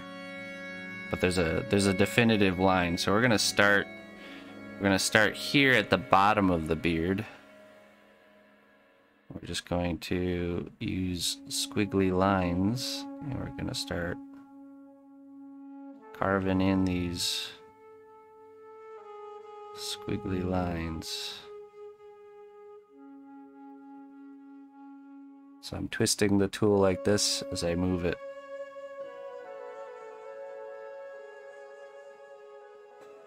Like this. Bring it back up.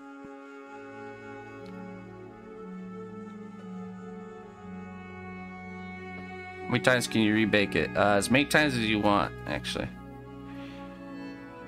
the creator of the clay tested it up to 30 times with no no uh, sign of any negative consequences. So. All right. Next layer. I'm going really deep here. Let me do this here.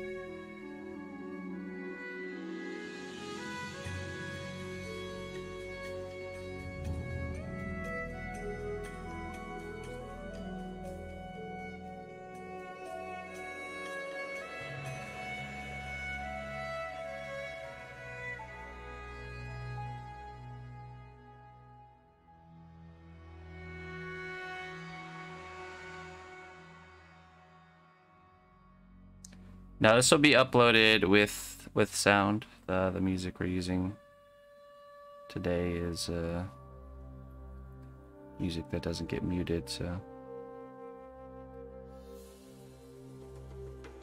it will indeed be uploaded. for full video. Yeah. Now this last one I did a little bit more straight because I'm just trying to create this is the part that meets up with the face. I'm just trying to create a nice smooth transition there, so.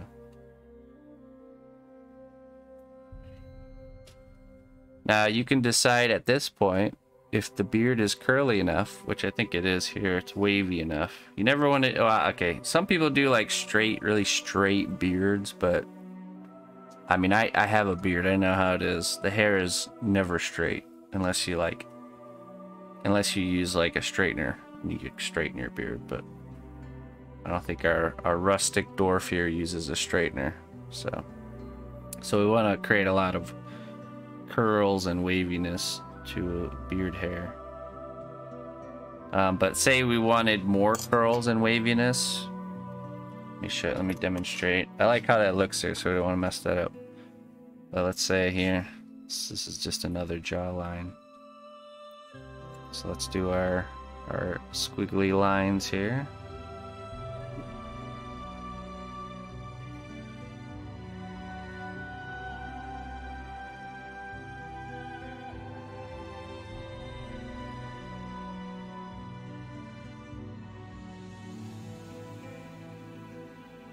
Let's say we wanted that to be more curly.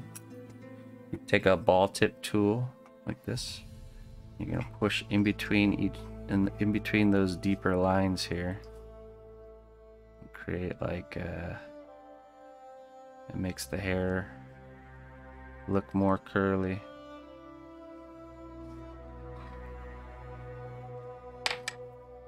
Um, and then go back in this tool and really define it's really it's it's coming out with a general technique to kind of create your base shape and then you go back in and you really need to describe what actually is going on there. And at this point you take it as far as you want you know you can be really detailed with it or really not detailed. This just kind of helps get things going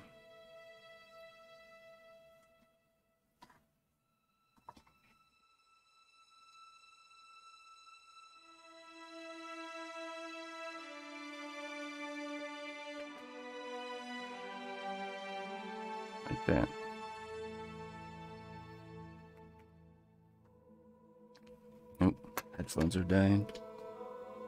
Oh, camera's frozen again. Jeez. I gotta figure out what's going on with that camera.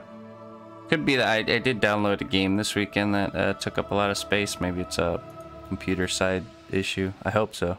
But it's not the actual uh, camera.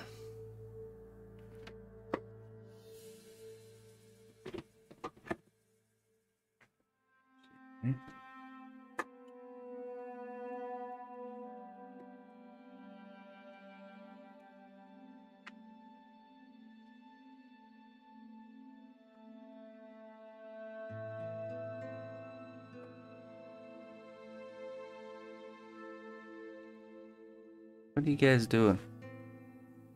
That's because it's normally the time when we would end. We're almost done, alright? You have to wait. Yeah, you have to wait. Okay. Okay, but I like how that looks, so we don't need to we don't need to alter that anymore. Let's do the other side of the face. The beard is broken up into different sections. You have this front part of the beard where the mustache is, and then there's a side part. And that blends up into the sideburns, so. So let's do the other side part here. Again, we're gonna go upside down here. And we want it to go, you know, we want it to go this way. Just guidelines there for me.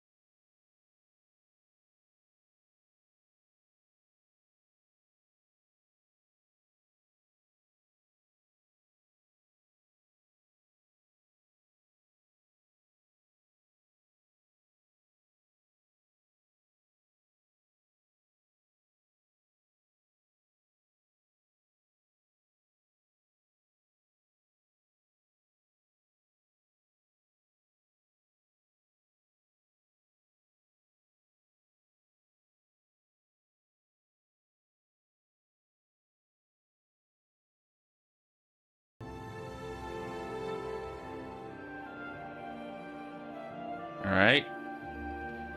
Now we have to address the center of the beard here. We have to make everything meet up with the braid. So I'm gonna define that lip line first.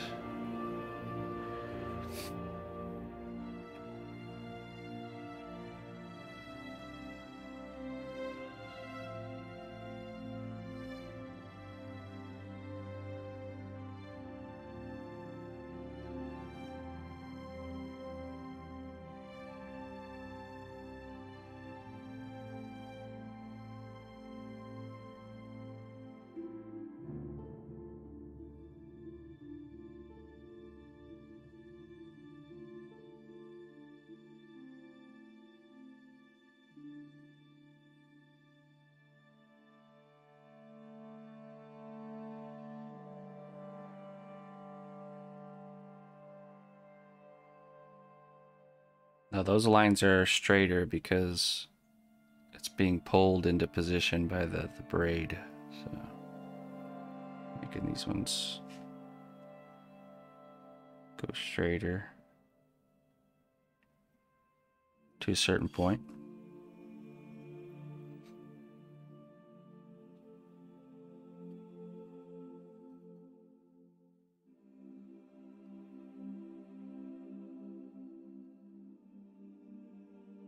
Hundred percent? Oh jeez. Yeah, I use ninety nine point nine percent. You can use lower percentages though. It doesn't have to be that crazy.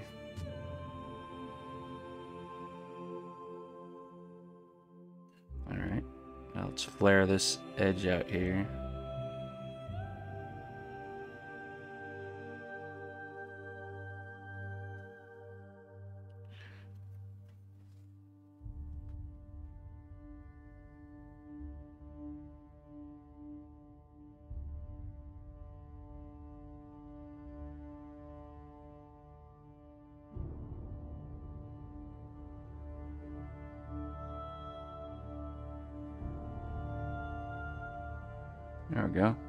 A nice smooth transition.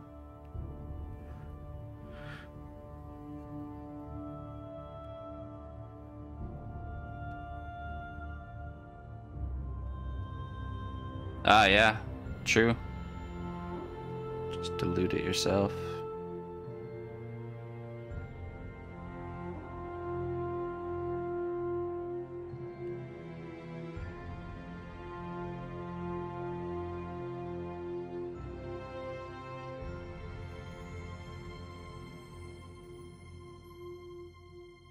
Bringing back some of this texture here.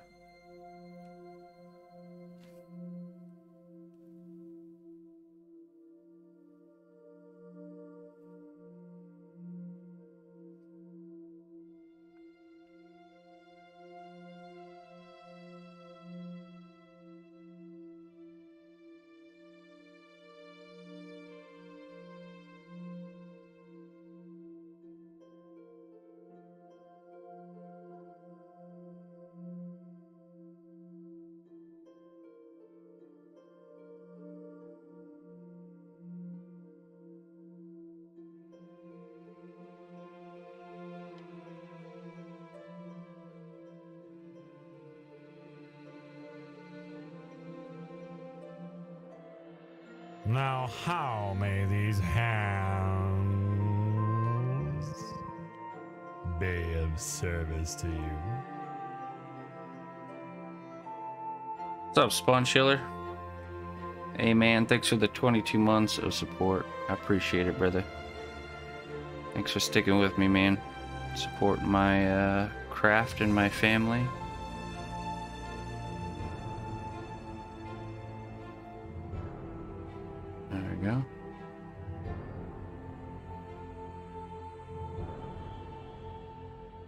Get a thicker chunk at the end, you can just grab it, pinch it, and pull it, and it'll taper off into a nice little piece of hair there.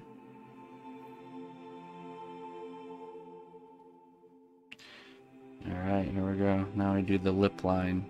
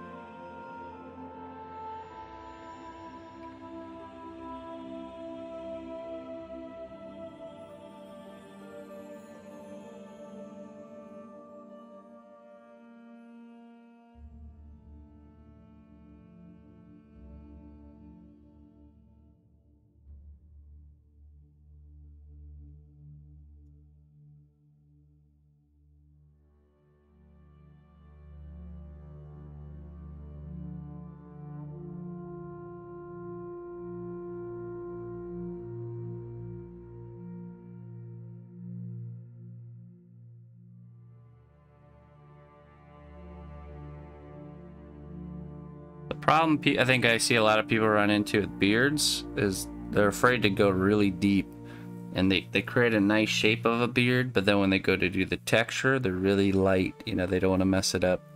Be hair has a lot of depth, a lot of big areas that just go in really far, you know. So you have to really kind of push yourself to really not be afraid to really create some deep areas of separation, you know.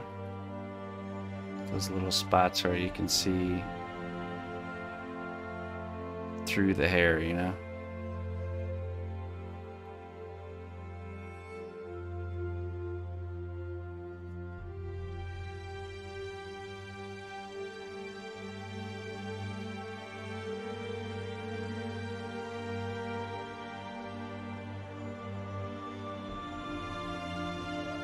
That's the part where making one of a kind pieces uh, excel because you can't really mold and cast or reproduce uh, something that has that much depth.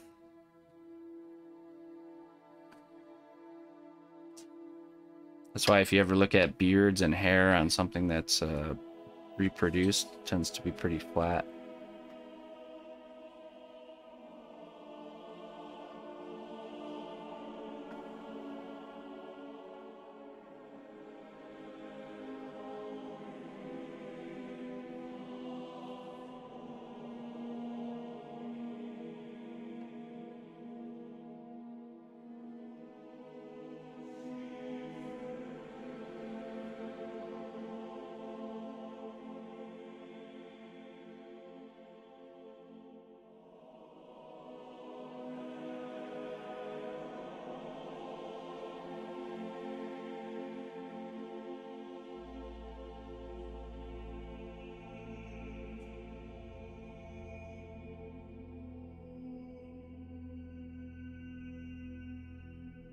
Alright, I think we've done it.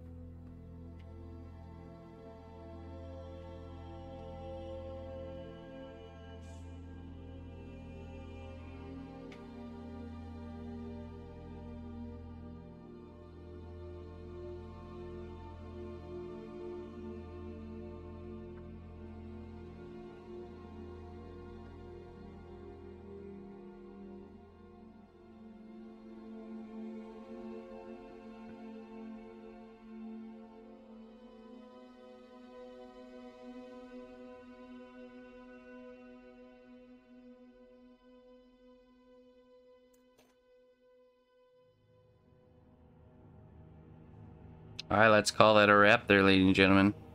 That is a tutorial on how to do helmet and beard to our character that we sculpted before. The next step for this would just be to, uh, you know, pretty much just keep pushing it until it's at a place that you uh, are happy with.